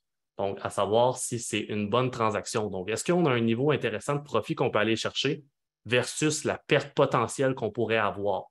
La gestion du risque est un concept un petit peu plus intermédiaire avancé, mais quand même super important à appliquer quand on fait du day trading puis du swing, trading. Utiliser un stop loss. Donc, élément super important. François, je pense que tu vas pouvoir en parler en masse de ça, mais je pense que c'est un de tes, de tes conseils que tu aimes bien répéter le plus souvent possible le stop loss. Donc, être capable de mettre un niveau de prix où est-ce que quand on prend une transaction, rendu à ce niveau-là, notre analyse est invalidée. Donc, il faut être capable de prendre notre perte. Donc, on prend l'action tantôt qu'on achetait à 1 qu'on voulait revendre à 1,10 Mais si justement l'action rendue à 95 sous, bien là, on se dit non, ça n'a plus de sens à ce, prix-là. Moi, je ne je veux plus être dans l'action parce que euh, l'analyse mon analyse est invalidée. Donc, c'est plus bon. Donc, je veux vendre mes actions automatiquement à 95 sous. Je mets un stop loss à ce niveau-là. Mais il faut être capable de le mettre. Il y a des gens qui ne vont pas le mettre ou qui vont le déplacer. J'ai entendu le mot stop loss, ça m'a interpellé. parce que euh, ceux, ceux, qui nous suivent sur Facebook, euh, les réseaux sociaux ou dans le club des initiés, on fait du day trading. Le stop loss, là, c'est le nerf de la guerre, surtout pour le day trading, parce que ce n'est pas nécessairement des titres de qualité qu'on transige. Des fois, on transige des titres à 5, 10 dollars. Je ne dis pas que des titres à 5 dollars, ce n'est pas de qualité. Il y en a de qualité, là, mais c'est souvent des titres quand même ultra volatiles. L'important quand on fait du euh, day trading, c'est de protéger notre capital. Donc, si on veut protéger notre capital, on ne veut pas que, je ne veux pas nommer de nom parce que là, ça, ça me chicote, mais on ne veut pas qu'un placement court terme de day trading devienne un investissement à long terme, puis on met ça sur la tablette, puis on attend. On voit beaucoup ça. Bon, mais j'ai acheté un titre à 5$, puis ah, c'est un titre de véhicule électrique, puis ça va remonter. Mais initialement, c'était juste pour faire du day trading. Un stop, là, c'est notre route de secours, surtout pour le, oui, c'est ça. C'est ça, Monsieur Lemoine. Euh, quand on fait du day trading, le stop loss, c'est important de prendre notre perte. Ça arrive quand on fait du day trading. Tu sais, sur 100 transactions, il y en a peut-être 40 qui ne fonctionneront pas. Ça fait partie de la game, c'est plate. C'est comme un, comme un match de boxe. Hein. On, se fait donner un coup de poing d'en face, puis on revient, on revient. Mais si vous ne mettez pas de stop, là, c'est comme deux, trois uppercuts. je vous garantis que vous allez être KO au bout de la ligne. Donc, une histoire courte, quand on fait du day trading, notre stop là, c'est souvent basé sur le technique. On se fout un peu du fondamental, ce n'est pas important. Mais c'est quand le technique change, quand notre analyse a été invalidée, Laurent va peut-être en parler tantôt avec son exemple, mais quand, notre analyse a été invalidée, il faut prendre notre perte. Puis on recommence. Tu sais, des titres, il y en a peut-être 50 000 à transiger. Ce n'est pas grave, on en prend un autre. Mais là, quand on parle d'investissement versus le stop-loss, des fois, il dit François, tu ne te stoppes pas pour le long terme. Oui, on peut se stopper, mais c'est sur le plus long terme avec des moyennes mobiles. Mais tu sais, on va faire ce cours là. Pourquoi qu'on se stoppe en day trading? C'est avec le technique, avec quand notre analyse a été invalidée. C'est quand est-ce qu'on se stoppe sur des trades, des, des positions long terme, un peu quand le fondamental change.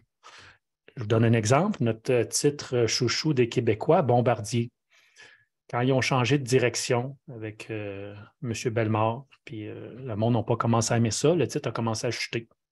Donc, il avait chuté depuis longtemps, là, mais quand le fondamental change, c'est là des fois qu'il faut, euh, qu'il faut débarquer. Et puis, on avait un peu parlé, quelqu'un m'avait dit, puisque le monde sont, sont textés sur Bombardier, puis il me dit Qu'est-ce que tu penses de Bombardier long terme? Mais ben, Bombardier, là, quand ils ont changé, je me souviens plus, là, ça fait quelques mois ou un an environ que M. Bellemare est parti. Ils ont changé de garde, puis le nouveau, il y a une vision différente. C'est le fondamental qui change. Donc là, le monde a commencé à rembarquer dans le titre parce qu'ils n'aimaient pas peut-être l'ancienne direction. Ils sont stoppés à cause de la direction n'était pas bonne. Mais là, ils ont commencé à rembarquer dans le titre, puis le titre il a quand même bien performé depuis qu'ils ont changé de direction. Fait que, bref, on va avancer à la prochaine présentation, mais quand on fait du day trading, le stop, c'est super important. On se stoppe côté technique quand notre analyse est invalidée. Puis le, fondamental, euh, pour le long terme, c'est quand le fondamental change. Quand le fondamental change, on change de, direction. On le voit un peu avec Meta, avec Facebook. Quand Facebook a commencé à vouloir aller dans euh, le, le, metaverse, le monde n'a pas aimé ça. Puis là, le, titre, je le sais que les indices chutent, ça l'aide pas, ça l'aide pas, mais Facebook a beaucoup, beaucoup chuté.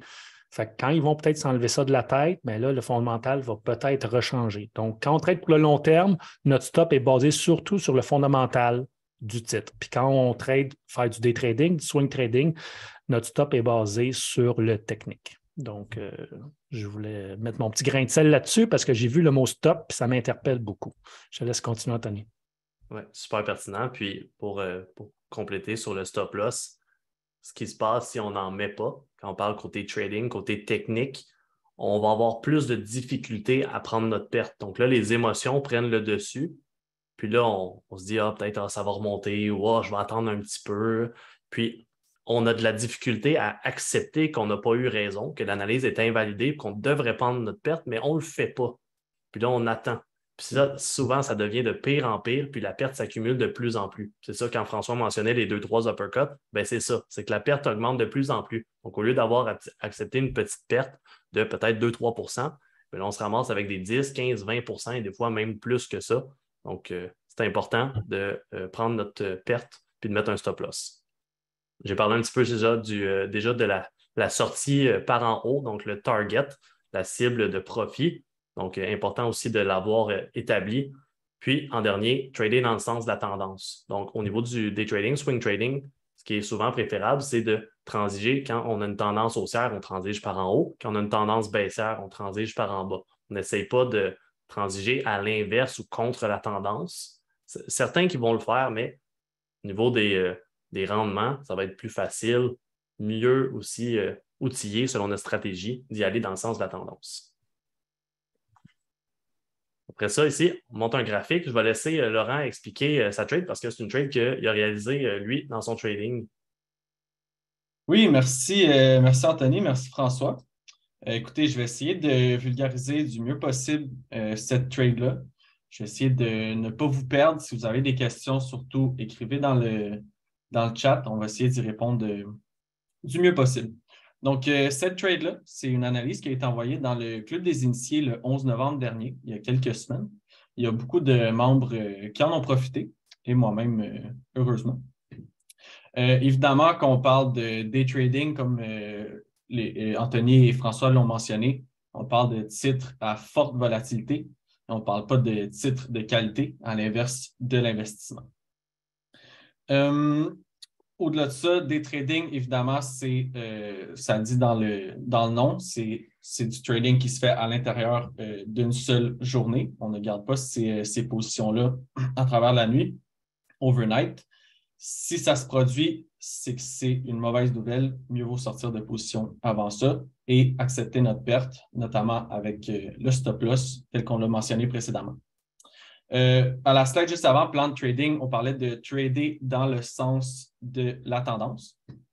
Ici, on voit une belle tendance haussière, c'est-à-dire que, euh, comme François a mentionné, c'est des escaliers à la hausse. Donc, des nouveaux sommets, sommets encore plus hauts et des bas encore plus hauts. Donc, higher high et higher low. Si tu veux, euh, Anthony, je ne sais pas si ta souris peut guider sur ces. exact. Donc, ici, on voit un premier nouveau sommet et voilà, deuxième sommet, bas encore plus haut, haut encore plus haut, et ainsi de suite. Euh, en haut à gauche, je vous ai mis l'exemple d'une figure chartiste. Euh, dans le club des initiés, on envoie souvent des analyses, en particulier sur euh, des flags. Donc, j'ai mis l'image d'un falling wedge. vous pouvez voir, c'est très sensiblement la même chose que sur le graphique. Il y a, la pôle, il y a le, triangle qui se forme également. Et sous la petite, euh, en fait, au-dessus de la petite flèche bleue, au-dessus du euh, dollar, oui, merci, euh, c'est à ce moment-là que je suis rentré en position parce qu'on voit qu'il y a un bris de la figure chartiste et évidemment, avec la confluence de mes indicateurs, c'était très intéressant comme entrée. Indicateur que j'utilise grâce à la formation des trading de François. Donc, je vous ai mis le, le relevé Interactive Brokers en bas. Euh, pour, euh, en fait, tout simplement vous prouver. Puis, euh, je pense que c'est le fun de mettre des chiffres aussi plus concrets sur des gains qui sont possibles selon les quantités qu'on prend. Donc, je vous ai partagé ça avec vous. Donc, entrée à 3,79, je suis allé chercher un beau gain environ 11 minutes plus tard à 3,89, soit 10 cents au-dessus, pour un 2,5% Bon, à partir de ce moment-là, ce serait possible de sortir de position à 2% la trade est terminée. Par contre, notion un petit peu plus avancée, il y a ce qu'on appelle euh, différents euh, TP, soit des prises de profit ou des cibles, comme on l'a mentionné à la slide précédente. Donc, à ce moment-là, ce que j'ai fait, c'est que je suis allé sécuriser une partie de mes profits à 50% Donc, j'ai vendu, au total, j'avais acheté 350 la quantité. J'ai vendu 175 de quantité 175 euh, actions de COMP. Puis, je suis allé monter mon stop loss qui était sous la longue mèche euh, en haut du E. Juste ici, merci. Stop loss que vous pouvez positionner 1% sous le support. Je suis allé monter mon stop loss au montant euh, de mon entrée. Donc, à partir de ce moment-là, c'est ce qu'on appelle une trade, une trade gratuite, comme François a mentionné, parce que si le cours de l'action chute sous les, 3, sous 3,79, qui était mon montant d'entrée, ben, automatiquement, je vais être sorti de position. Donc, je ne peux pas perdre d'argent à ce niveau-là. Je suis break-even, comme on appelle. Par contre, de l'autre côté, c'est très intéressant parce que je peux aller chercher des beaux gains. C'est ce que j'ai fait en allant chercher à 4,19. Pour ceux qui connaissent euh, la notion de résistance, j'ai essayé de, de, ne pas vous perdre, mais je suis sorti à la résistance à 4,19 pour aller chercher un beau 10,6 et donc, j'ai vendu 175 euh, actions, ce qui fait 175 première vente, 175 deuxième vente, 350 la quantité totale. On sort de position au complet. Euh, dans les chiffres, qu'est-ce que ça veut dire ça? Euh, je suis allé chercher un beau gain de 83 et 67 US. Si vous voyez juste à droite, c'est écrit PL, PNL, MTM. C'est simplement pour vous le mentionner, si vous demandez c'est quoi, c'est market to market. Donc, euh, essentiellement, c'est euh, le, profit avant les frais de commission. Donc, le 87 et 50, moins les frais de commission, qui sont très importants à prendre en compte parce que si on fait du day trading, on peut passer beaucoup de trades, puis ça monte rapidement, ces frais-là. Donc, 87 et 50, moins le 3,83, un profit de 83 et 67. Aussi, euh, je pense que c'est important de mentionner, aussi qui regardent des graphiques actuellement, vous, pouvez peut-être vous demander pourquoi est-ce que le graphique est aussi lisse? Ça peut arriver, euh, qu'on voit des chandelles avec des gros gaps, des choses comme ça. Donc, pourquoi ce graphique-là est aussi lisse? simplement parce que j'utilise euh, un graphique Aikenashi, qui est une formule différente. Évidemment, c'est un conseil de François. Sur ses 28 ans d'expérience, il l'utilise depuis, dis-moi si je me trompe, François, mais je pense que ça fait au moins 10-15 ans que tu utilises les Aikenashi. Oui, c'est ça. Euh, environ 15 ans, quand j'étais sur le parquet de la bourse, je ne sais même pas si ça devait exister. C'était surtout des chandeliers japonais, mais le graphique Aikenashi m'aide beaucoup pour le day trading. Euh, sans donner de chiffres, là, mes, performances ont beaucoup plus euh, ont augmenté. Laurent va vous envoyer peut-être un. Ben, pas peut-être, il va vous envoyer un lien sur notre chaîne YouTube. J'explique c'est quoi le graphique Aikenashi, mais je vais vous résumer ça je ne vais pas résumer, mais vous donner le gros avantage, c'est que souvent, comme Laurent dit, des fois, c'est surtout pour euh, l'intraday, graphique 1 ou 5 ou 10 minutes, 15 minutes. Des fois, vous allez voir des gros gaps, il n'y a pas beaucoup de liquidité. Euh, des fois, euh, il y a des grosses mèches. Et puis, la, formule du graphique Aikenashi, c'est un, excusez l'anglicisme, c'est un candlestick qui a été pimpé. Donc, c'est beaucoup plus lisse, c'est beaucoup plus visuel. c'est un petit devoir que je vous donne à soir. Un peu comme on va faire avec euh, les membres du Club des initiés. Allez euh, écouter le, sur YouTube la définition de graphique Aikenashi, c'est quand même bien expliqué. Et puis après ça, prenez vos graphiques, là, un ou cinq minutes, mettez en parallèle graphique normal versus graphique Aikenashi. Euh, pour faire une analogie, vous allez tomber dans la matrice. Je vous le dis, ça, ça, va être une autre façon de voir les graphiques, c'est beaucoup plus visuel. Donc, je te laisse continuer, Laurent. Oui, euh, merci, euh, merci François. Ben, j'achevais justement, euh, comme on vous a dit, à la fin de la présentation, on va vous partager le, guide du webinaire. Vous voir, il y a le lien en bas à droite, le gros logo de, de où on a linké la vidéo Aikenashi. Vous pouvez également vous abonner à la chaîne YouTube. On va partager du contenu, on va repartager la séance également. Puis, j'ai partagé le lien de cette même vidéo dans le chat. Donc, comme on dit, des tradings, ça rime avec forte volatilité. Ce ne sont pas des titres de qualité. Euh, je sais que ça peut être très excitant au début. Euh, moi, le premier, j'étais très excité à l'idée de commencer à transiger, mais je vous en prie, commencez par faire de la simulation, faites vos devoirs, puis éventuellement, quand vous allez euh, avoir développé votre apprentissage, vous allez être un peu plus loin dans le processus, mais vous pouvez commencer à transiger avec de l'argent réel, mais commencez par des petites positions, risquez une petite partie de votre capital, puis grossir à mesure que le temps avance. Mais comme François mentionnait, euh, un an pour de la simulation, c'est peut-être un peu trop. C'est bon euh, de se familiariser éventuellement avec les émotions qui sont une grosse, une variante très importante du trading, justement. Donc, ça fait pas mal le tour de mon côté. Je vais regarder si vous avez des questions, n'hésitez surtout pas. Puis, je laisse Anthony reprendre la parole. Super, merci Laurent. Puis pour faire une petite parenthèse, c'est un peu comme ça qu'on discute le matin pendant la session express, Laurent et moi.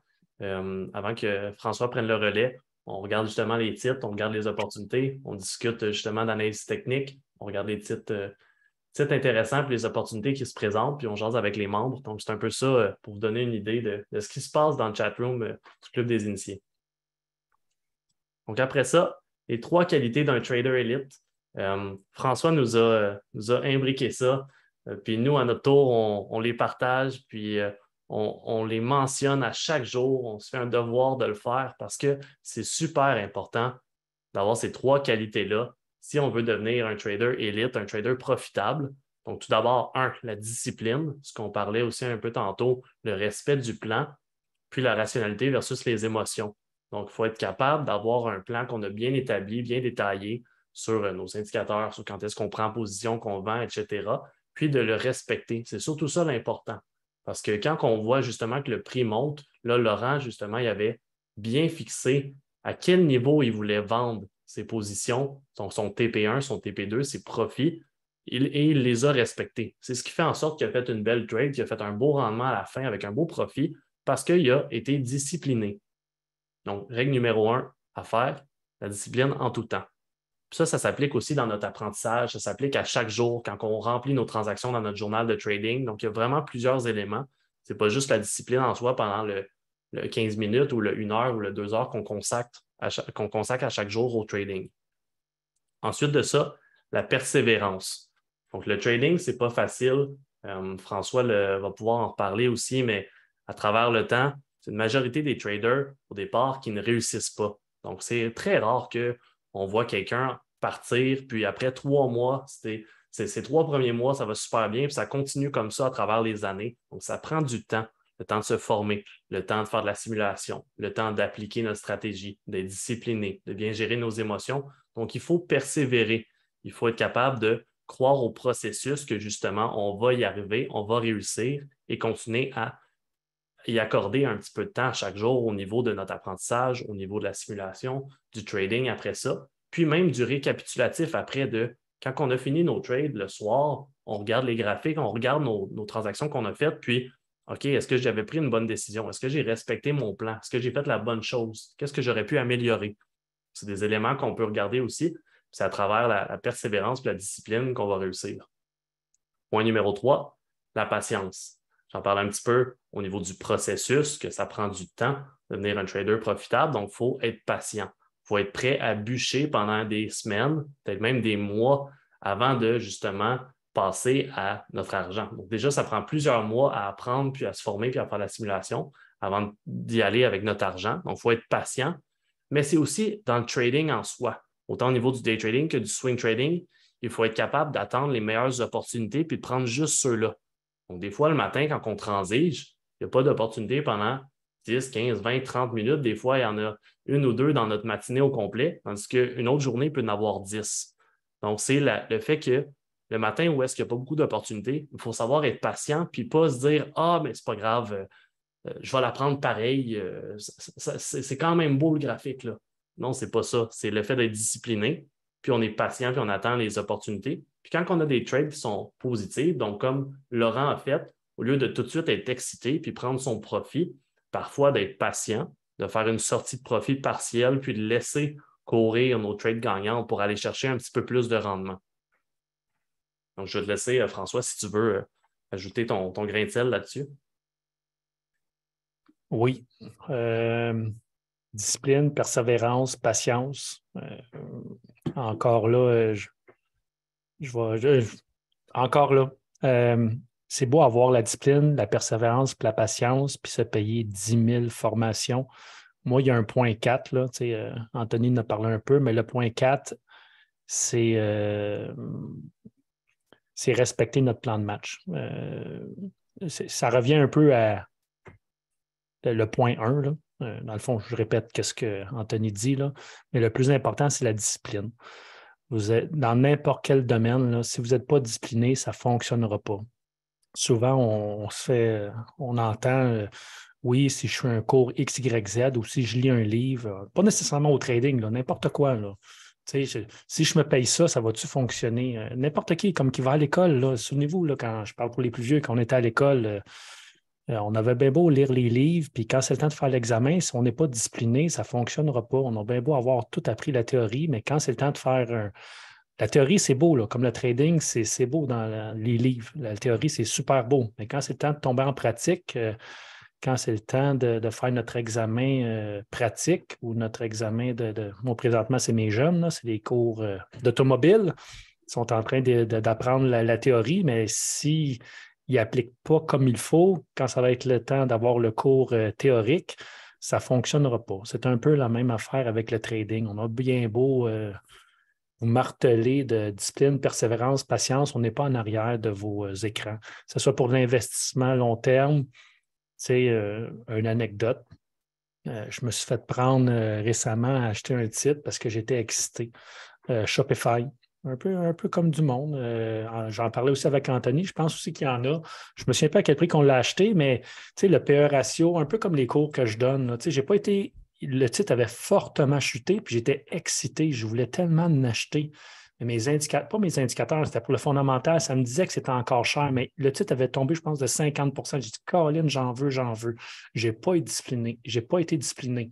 Fait que j'ai été pogné, puis j'étais encore pogné avec ce titre-là, mais tu sais, des, des, en anglais, des dogs, là, des, des, chiens dans, la liste. Là, des, ça, c'est un, un, chien avec, euh, pour faire une analogie avec euh, le film Wall Street. It's a dog with euh, sleeve, je crois. C'est un, un, chien avec des poux.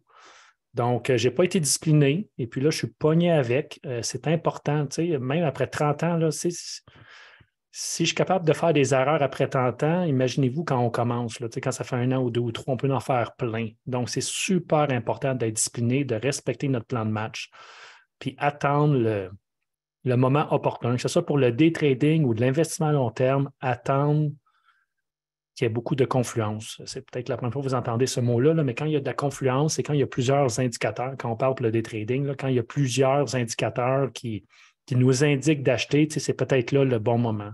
Si on attend juste une moyenne mobile qui casse ou un stochastique, je vous dis des noms, peut-être ça ne vous dit rien.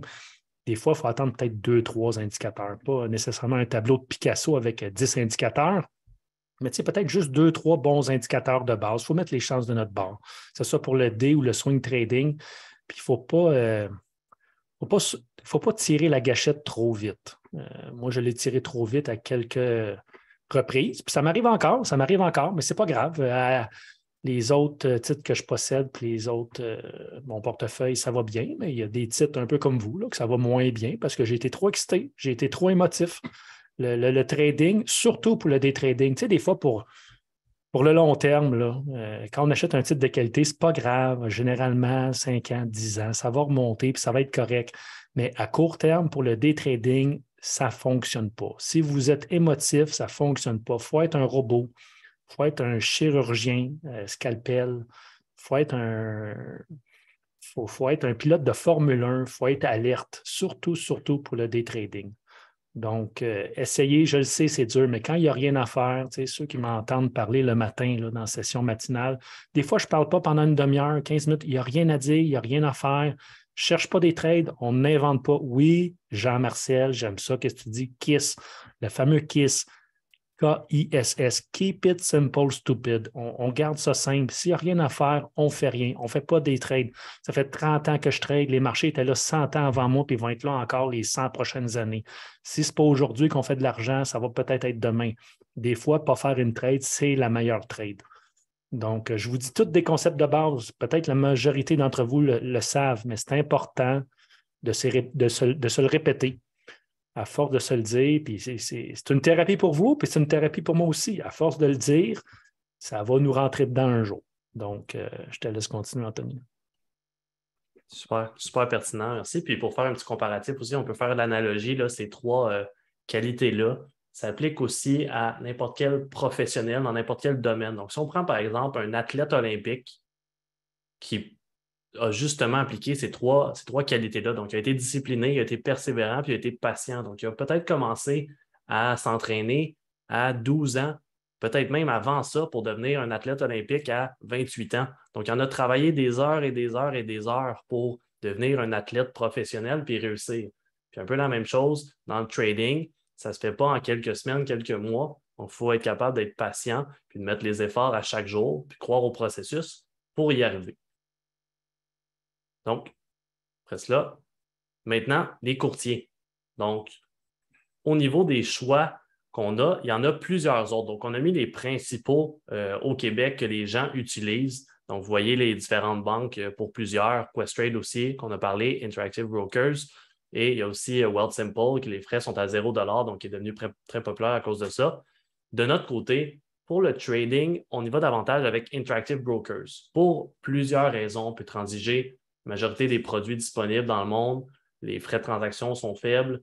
Euh, c'est une plateforme qui est très sécure, qui permet aussi une excellente rapidité d'exécution. Donc, ça, c'est un élément super important pour, euh, pour le day trading. Mais de l'autre côté, si vous voulez faire de l'investissement, vous avez déjà un compte ouvert, vous êtes avec la banque TD, donc vous avez déjà votre compte ouvert chez TD, faites vos transactions pour l'investissement à long terme. Ça, peu importe la plateforme avec laquelle vous êtes, vous allez pouvoir le faire sans problème. Donc, ça, ce n'est pas, euh, n'est pas le, choix le plus prioritaire, c'est à faire si vous faites du trading. Donc là, c'est important de faire vos devoirs pour choisir la bonne plateforme. Au niveau de l'investissement, donc Desjardins, les frais sont à 0 Banque nationale également. Donc ça, c'est une bonne chose, un bon avantage qui, autant au niveau du trading que de l'investissement, peut, bien se refléter. Après cela, au niveau de la plateforme, ça, c'est pour l'analyse technique. Donc, on peut justement avoir euh, notre compte avec euh, les, précédents, les précédentes plateformes qu'on voyait, précédents courtiers, donc par exemple être avec Interactive Brokers, pardon, pour euh, le trading. Mais au niveau de l'analyse, par contre, utilisez TradingView. C'est la plateforme qui est la plus complète puis la plus utilisée à travers le monde pour l'analyse technique en trading. Donc, c'est vraiment une plateforme qui est euh, user-friendly, facile d'utilisation. Par contre, elle a des tonnes et des tonnes de fonctionnalités. Donc, c'est vraiment la plus complète. C'est celle que vous avez vue dans le graphique de Laurent tout à l'heure. Donc, c'est pris euh, une photo qui a été prise à partir justement de la plateforme TradingView. Donc, euh, il y a différents forfaits dépendamment si vous voulez avoir plus d'indicateurs, les données en direct qu'il faut payer aussi si on fait du day trading. Par contre, c'est possible d'utiliser la plateforme gratuitement. Donc, vous pouvez aller vous créer un compte, vous familiariser avec, euh, avec TradingView, apprendre un petit peu comment voir les graphiques, comment analyser. Comme François mentionnait, le petit devoir d'aller comparer justement les bougies, les chandeliers japonais au graphique Aikenashi. Donc, ça, vous pouvez faire ça avec le forfait gratuit, tout simplement. Puis, petit truc de pro, si jamais vous voulez upgrader vers un forfait supérieur, vous faites l'essai gratuit. Puis à la fin, ils vont vous proposer un rabais. Donc, c'est une bonne, bonne façon d'avoir de payer moins cher pour justement si on veut. Si on veut avoir un forfait de meilleure qualité, donc mettre plus d'indicateurs pour voir les publicités, des trucs comme ça, ça vaut la peine si on est un trader actif. Donc, si on fait du day trading ou du swing trading. Puis, on a une formation justement sur la plateforme. C'est euh, pas qu'on se vante un peu, mais on a vraiment la, plateforme, la, formation pardon, la plus complète au Québec sur la plateforme TradingView. 4 heures et demie de contenu, euh, c'est vraiment, euh, vraiment intéressant. On fait le tour au complet de toute la plateforme. Donc, c'est Patrick, Patrick Gaulin, qui est l'autre du podcast, qui a fait la formation. C'est vraiment un maître. Il a passé des heures et des heures depuis les, les 5-6 dernières années, je crois, à apprendre sur la plateforme. Donc, c'est une formation que c'est sûr que si vous voulez devenir un trader, puis maîtriser cette plateforme-là, ça vaut vraiment la peine. Laurent et moi, on l'a fait euh, à plusieurs reprises pour être en mesure justement de bien comprendre toutes les subtilités de la plateforme. François, voulais-tu ajouter un mot soit sur euh, Interactive Brokers ou, TradingView? Euh, oui, oui. J'étais on and off, là.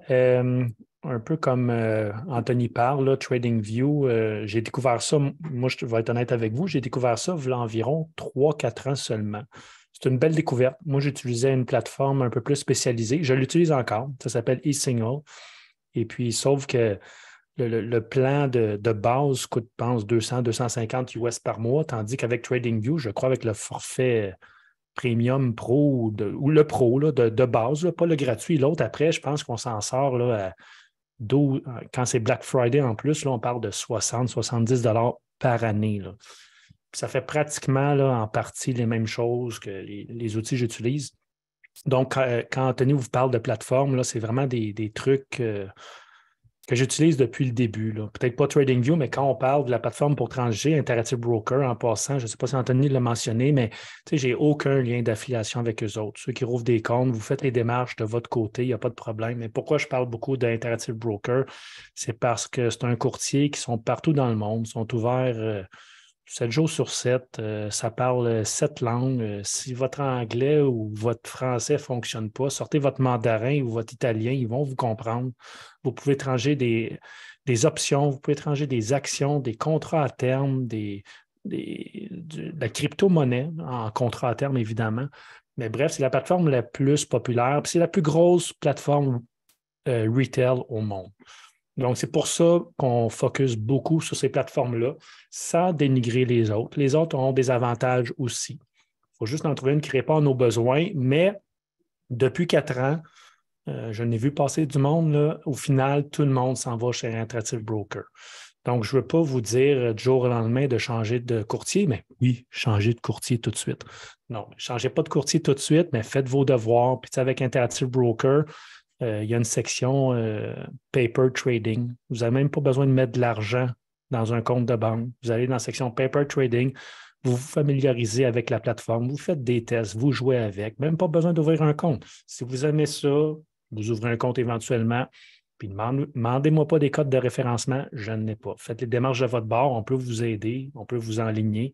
Mais bref, c'est les deux plateformes les plus populaires pour l'analyse technique, TradingView.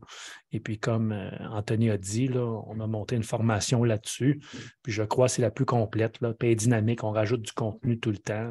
On est là pour vous répondre. Puis, sinon, pour transiger, euh, je transige avec Interactive Broker. Fait avec ces deux outils-là, là, à la base, qui ne coûte rien, TradingView, il y a une version pro qui est vraiment cheap, cheap, cheap, pas cher.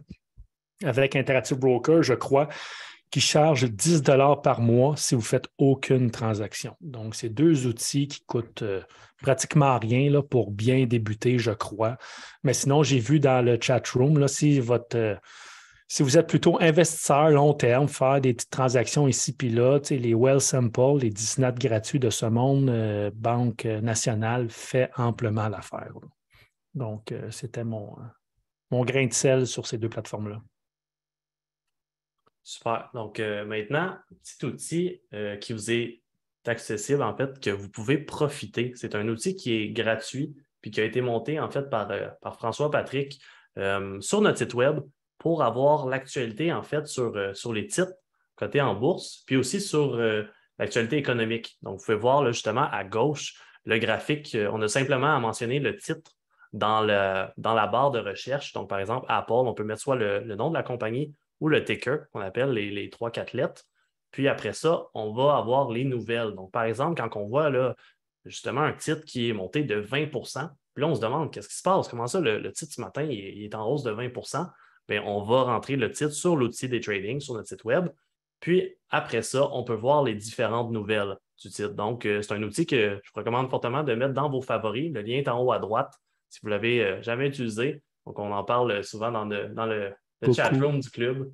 Je lève mon doigt. Vas-y. Bon, avant que tu continues, avant que tu continues, comme mes enfants disent des fois, bon, l'outil que l'outil qu'Anthony va vous présenter, c'est la deuxième chose.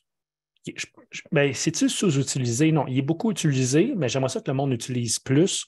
C'est un outil qui est quand même gratuit pour vous, puis il va tout le temps rester gratuit. ça nous coûte quand même 200-300 dollars par mois là, pour avoir ces feeds-là. Fait que profitez-en.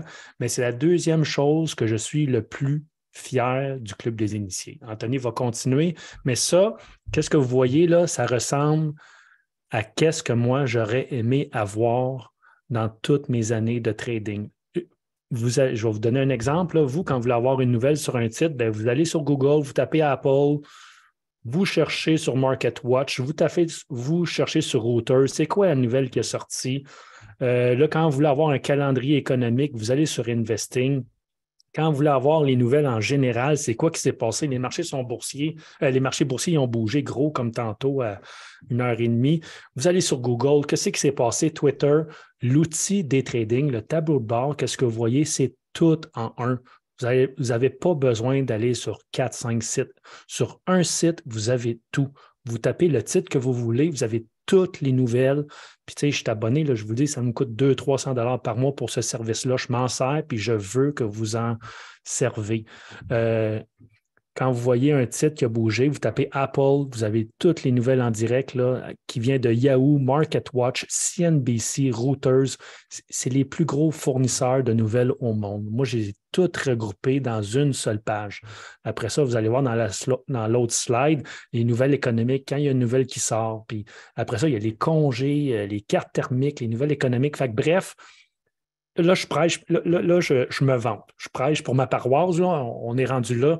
Après le Club des initiés, c'est l'outil que je suis le plus fier. Fait arrêtez d'avoir 4-5 euh, sites ou aller regarder. Faites juste vous mettre l'outil day trading. Vous avez tout, tout à la même place. Je vous le dis, c'est 25 ans d'expérience. J'ai scanné tous les sites, toutes les nouvelles que j'aimerais avoir. Tu sais, les fameux Ah, on est-tu en congé aujourd'hui? Bien, allez sur l'outil congé USA, congé Canada. Ça va vous dire c'est quoi le, congé aujourd'hui. Euh, fait bref, euh, je, laisse, euh, je laisse Anthony continuer.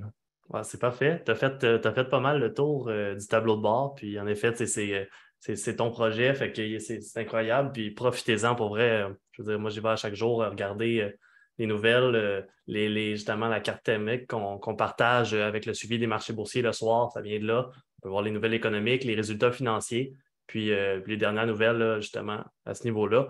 tout est accessible via l'outil. Mettez ça dans vos favoris. Donc, petite mention aussi sur le podcast. On est parlé tantôt, mais c'est vraiment une, excellente ressource qui est gratuite, qui est accessible sur euh, le site web, puis sur plein de, pardon, d'applications ou de sites qui euh, partagent les podcasts, dont Spotify et Apple Podcasts.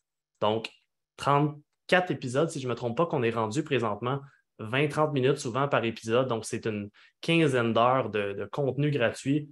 qui sont sur divers sujets liés au trading, dont justement les émotions qu'on en parle pendant, plusieurs, plusieurs épisodes. Avec des experts aussi qui sont, qui sont réputés dans ce domaine-là. Donc, ça vaut vraiment la peine d'aller consulter si vous voulez apprendre davantage sur, sur le trading et ces sujets-là. Ensuite, maintenant, petite parenthèse sur le Club des initiés, on a parlé un petit peu tantôt. Euh, c'est vraiment un service qui est complet pour apprendre davantage. Donc, on l'a vu, on en a parlé, puis pour ceux aussi qui euh, sont passés par là comme moi, au départ, on ne sait pas trop où on s'en va, puis on ne pense pas que c'est si difficile que ça, le trading. Je veux dire, j'ai commencé, je, comprenais un petit peu c'était quoi les graphiques, je me suis mis à, mettre de l'argent des trades, puis là, les premières trades ont été gagnantes. Puis là, c'est là que ça a renforcé ma confiance. Puis après ça, ben, ça a été juste euh, une glissade par en bas, puis euh, perdu de l'argent, perdu de l'argent.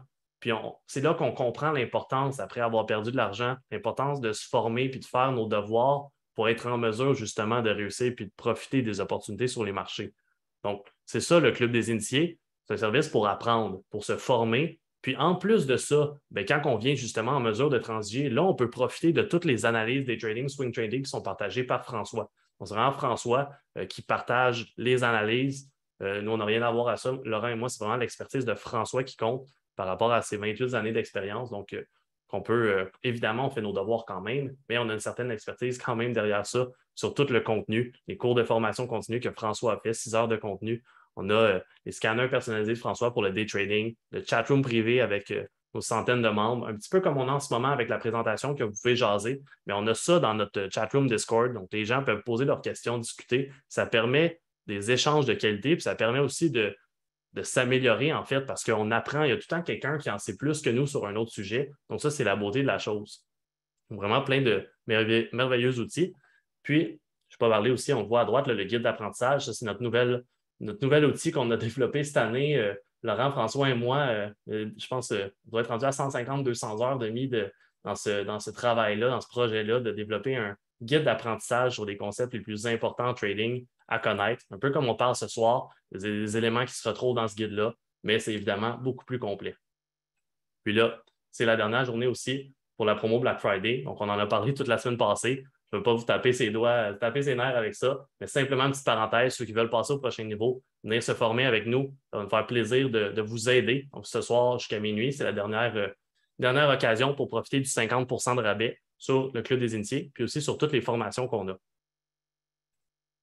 Maintenant, Laurent, je te laisse euh, prendre la parole. François, peut-être tu veux parler, euh, dire un petit mot avant. Sinon, François, après ça, Laurent, je te laisse prendre la parole pour les questions. Oui, mais c'est ça, j'aimerais vous remercier. Là. Je sais que le, peut-être derniers cinq minutes, on, vend, on, essaie de vendre notre business, là, mais le, le, depuis 7 heures, vous êtes ici, peut-être une heure, euh, le, 80 du, 90% du webinaire, c'est quand même du bon contenu de qualité. Mais c'est sûr qu'à la fin, écoutez, il fallait plugger nos trucs. Là. Mais tu sais, je vous remercie beaucoup d'être là. Je sais qu'un mercredi soir euh, à 7 heures, vous avez peut-être d'autres choses à faire, euh, des enfants, des amis.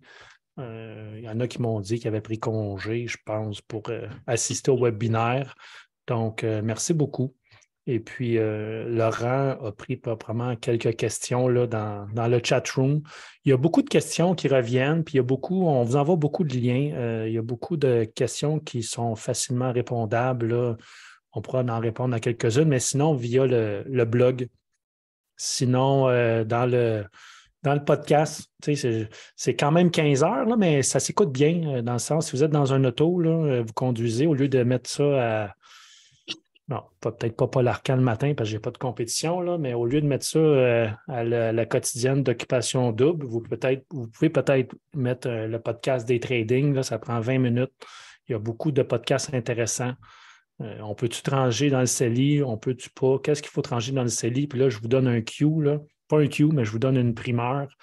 Euh, on va avoir un podcast d'environ 3-4 épisodes sur les pertes fiscales, puisque présentement, les marchés sont à la baisse. Qu'est-ce qu'on peut faire avec ça? On va avoir notre invité spécial, Vincent Bus, qui est quand même un fiscaliste, euh, un fiscaliste euh, quand même très quand même connu, fait partie de l'équipe. Donc, il ne va pas sortir tout de suite, mais dans quelques semaines. Donc, c'est une petite primeur. Fait que bref, merci d'être là. On va peut-être aller. Euh, puis merci à Laurent et Anthony pour euh, la présentation. Euh, très satisfait. Euh, j'ai investi dans des titres de qualité. Ce n'est pas des penny stocks. Très content. Et puis, euh, on est trois parce que Laurent s'occupe côté technique, s'occupe côté chat room. il répond aux questions, il envoie des liens. Super important. Anthony, très bon communicateur. Moi, je suis rendu là pour. je suis rendu spectateur, moi aussi. Mais bref, quand c'est un petit peu plus technique, j'aime mieux faire des j'aime bien faire des interventions. Donc, peut-être y aller. Là, on ne va pas nécessairement ouvrir les micros. peut-être poser vos questions dans le chat room. Laurent, je ne sais pas si tu nous noté le couple. Oui, si tu veux, François, j'en ai screenshot quelques-unes depuis le début. OK. Donc, tu sais, je peux vous en poser quelques-unes, puis on, y va comme ça, si ça, ça vous tente. Oui. OK, super. Euh, ben, il y avait une question au début qui était intéressante sur euh, l'inflation. Trader Champagne qui demandait que se passerait-il si le monde continue à faire des dépenses versus l'inflation? Ne va-t-il pas y avoir un type de Big Bang au niveau de l'argent en circulation, puisque celle-ci ne sortira plus à cause des taux qui seront trop hauts? En anglais, on dit de shit hit the fence. À un moment donné, euh, la marque va pogner. On ne peut pas avoir une inflation à 8% soutenue. à un moment donné, à force d'imprimer de l'argent, un peu comme ils ont fait les gouvernements, ça baisse beaucoup la valeur de notre monnaie. Euh, c'est ça. Notre 10 dans, dans 10 ans va peut-être valoir 8 là. Mais faites-en pas, euh, Trader Champagne, Eric, euh, à force de monter les taux, un moment donné, c'est un combat de boxe. Hein? Puis les banques centrales, ça ne sert à rien de se battre contre eux, on ne gagnera pas. C'est, comme le marché. ils vont juste augmenter plus les taux. Un moment donné, on va mettre le genou à terre, puis tout va se stabiliser. Le voyage à Cuba à 1700 pièces que je vous ai parlé tantôt, il va rester là. À un moment donné, les prix vont rechuter. Donc, il va-t-il arriver un Big Bang? J'espère pas. J'espère pas. Euh, même côté euh, immobilier, faites-vous-en pas. Je ne pense pas que les banques vont reprendre les maisons. Ils ne veulent pas de maison, ils ne veulent pas de ferme, ils ne veulent pas d'entreprise. Ils vont seulement changer les termes. On va juste payer un peu plus d'intérêt que de capital. Donc, euh, mais des fois, pour faire une analogie, des fois, c'est bien qu'une forêt brûle parce que quand une forêt brûle, elle repousse beaucoup plus fort par après. Des fois, il faut shaker l'arbre pour faire tomber les pommes pourries. Faire tomber les pommes, ça fait du bien. Je ne souhaite pas ça, mais un peu comme quand il y a une guerre en Ukraine, là, pour encore faire un lien, en Ukraine, il y a beaucoup de choses qui sont détruites, puis il parlait que la reconstruction allait être longue, mais faites-vous-en pas, en Ukraine, il va y avoir un gros boom immobilier, euh, pas un boom immobilier, mais un gros boom économique. Ça va beaucoup réinvestir plus tard là. Donc, euh, j'espère que ça n'arrivera pas côté marché boursier, mais si ça l'arrive, on va se sentir comme euh, peut-être Warren Buffett dans un marché au un Toys R Us. Il va y avoir plein de deals un peu partout. Donc, je ne le souhaite pas, mais il faut garder que c'est toujours une euh, possibilité. Oui, c'est ça. comme Anthony dit, le Black Swan, the Perfect Storm, ça peut arriver. Mais on ne va pas se le souhaiter. Puis ça arrive, ben, on en profite pour euh, loader nos guns, euh, faire nos provisions de titres de qualité à long terme. Super, merci François. une autre question, question qui revient assez souvent, mais je pense que ça vaut la peine de la poser quand même. Au niveau euh, du trading, ça, varie pour chaque personne, mais tu dirais que ça prend combien de temps environ pour euh, arriver à devenir profitable? Ah, c'est bon, j'adore ça, cette question. Puis cette question-là, j'y ai répondu dans l'entrevue. Laurent, si tu peux envoyer le lien, l'entrevue que j'ai donnée euh, au groupe Orange. Ça prend combien de temps pour être profitable? Puis je crois dans le monde, pas dans le monde, mais dans le chat room, il y a quelques personnes qui en ont parlé. C'est propre à chacun vous voulez une réponse facile, je vais vous la donner, mais c'est quand même une question complexe. Ça peut prendre, euh, regardez, moi, ça a pris six mois, j'ai perdu 50% de mon capital. À la fin de l'année, j'ai seulement récupéré mon capital. Fait qu'après un an, pour du day trading, je parle, j'ai tombé flat. Fait que, la...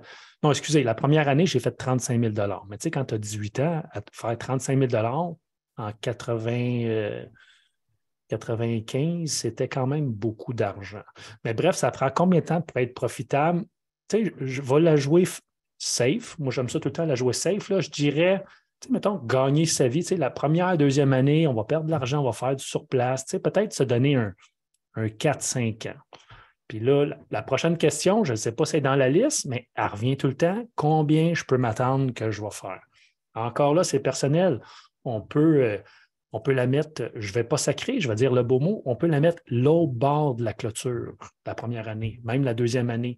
Mais overall, là, si vous battez les indices, les, les, indices, des fois, des années peuvent faire 20-25% mais si vous faites 30% une année, puis l'indice a fait 20% c'est très bien, c'est très, très bien. Fait combien qu'on peut faire? Encore là, combien vous êtes prêt à investir, puis mettez peut-être un 20% par année. Tu sais, faire un 20-25% par année, c'est super bien. Là.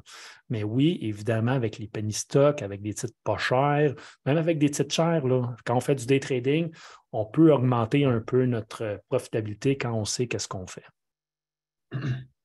Super, merci. Euh, question de Jimmy, je pense que c'était par rapport euh, à l'analyse sur COMP. Euh, pourquoi ce titre-là? Est-ce qu'il y a des milliers de titres et c'est tous des scanners qui vous alertent? Donc, euh, pourquoi est-ce que ça a été COMP? Euh, OK, oui, oui. il y a plusieurs scanners qui existent dans le monde. il y a Trade Ideas, il y a, pour nommer celui-là, il y a les scanners de TradingView, euh, qui est gratuit, ben, qui est gratuit, qu'on paye avec TradingView. Euh, TradeAdia, je pense ça coûte 200 par mois. Il y a plein de scanners. Pourquoi ce, pourquoi ce titre-là a popé? Ça, en anglais, euh, you get what you pay for. Plus que tu payes, généralement, tu as plus de services. moi, les, abonnements aux scanners, ce pas des scanners génériques, un peu comme on le voit, TradeIdeas ou, ou TradingView c'est avec eSignal. moi, ça me coûte entre 1000 et 2000 dollars US par mois pour avoir les scanners. Puis, avec les écrans que je partage chaque matin, vous avez accès à mes scanners. Donc, ce scan, oui, il a fait une vis aussi, comme Pierre dit. Euh, je pense qu'il y a un forfait à 40 dollars par mois, qui est quand même bien.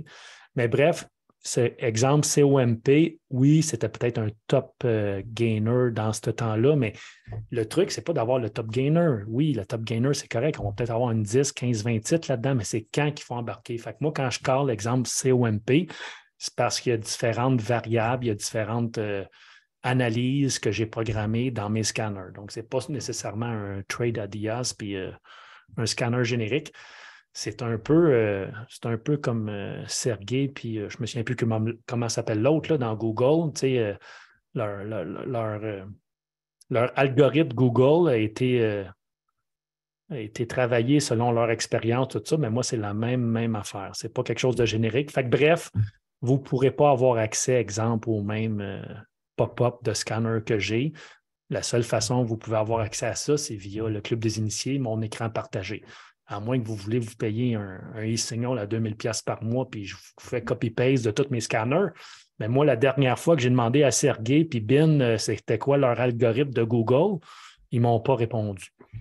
que ça se peut que ça se peut que moi non plus, je ne réponde pas. Mais bref, au lieu que ça vous coûte 2000 par mois, là, le Club des initiés à 1200 par année, là, ça fait 100 pièces par mois. Là, vous avez accès au meilleur scanner, je crois, qui a été fait au Québec beaucoup moins, à une fraction du prix de tous les autres scanners que vous pouvez trouver. Euh, une question par rapport au pourcentage d'augmentation sur le 27 ans, 27 ans qu'on a donné au début de la présentation. Félix qui demande 1600% en 27 ans, soit 59% annuel à intérêt simple. Est-ce que c'est la bonne façon de voir les choses? Euh, c'est Anthony qui a monté le, le PowerPoint. Là. Euh, si je peux répondre, ou Anthony, s'il peut euh, clarifier, mais si on parle de 1600% sur 10 euh, ans, je crois, ça fait 16% par, année, mais c'est peut-être avec l'effet d'intérêt composé, là, où je peux peut-être laisser Anthony. Exact, c'est ça. Je n'ai pas, pas, les chiffres devant moi, mais c'est ça. C'est, dans le fond, c'est que ça inclut les intérêts composés. Fait que oui, le rendement annuel va être de 10 plus ou moins 10 C'est comme on parlait tout à l'heure rendement euh, tourne autour de ça. Par contre, c'est que la beauté de la chose, comme on mentionnait, c'est qu'on ajoute un 100 aussi euh, à chaque mois. Donc, si on prend le, scénario de, 100 euh, puis, c'est en plus aussi le fait que sur, par exemple, le SP 500, un fonds initial du SP 500 va avoir des titres. Les titres de qualité, souvent, c'est des compagnies qui sont profitables. Donc, ces compagnies-là, parfois, émettent un dividende, qui est une, un, une partie euh, des, bénéfices de la compagnie qui remettent à vous et moi qui investissez dans la compagnie, qui achetez des actions.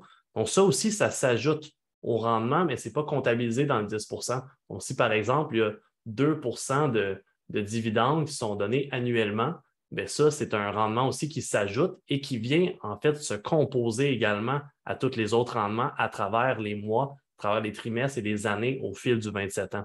c'est aussi ça la façon que le rendement, on ne peut pas le calculer justement en divisant le total par le nombre d'années parce que ça ne fonctionne pas de cette façon-là. C'est un calcul exponentiel un peu, si on, peut dire euh, rapidement, qui fait en sorte qu'au total, à travers les années, l'intérêt composé est de plus en plus élevé. Si je peux répondre à deux, deux, deux, questions live, là, il dit Pierre-Luc, je ne peux pas profiter du Club des initiés en direct. Je comprends. Euh, la majorité du monde ne peuvent pas en profiter en direct, mais le Club des initiés, ce n'est pas nécessairement pour du trading en direct. C'est seulement le day trading, c'est seulement une partie. Euh, il y a du swing trading, il y a des listes qui sortent une fois par mois, des listes de type de qualité euh, pour du long terme.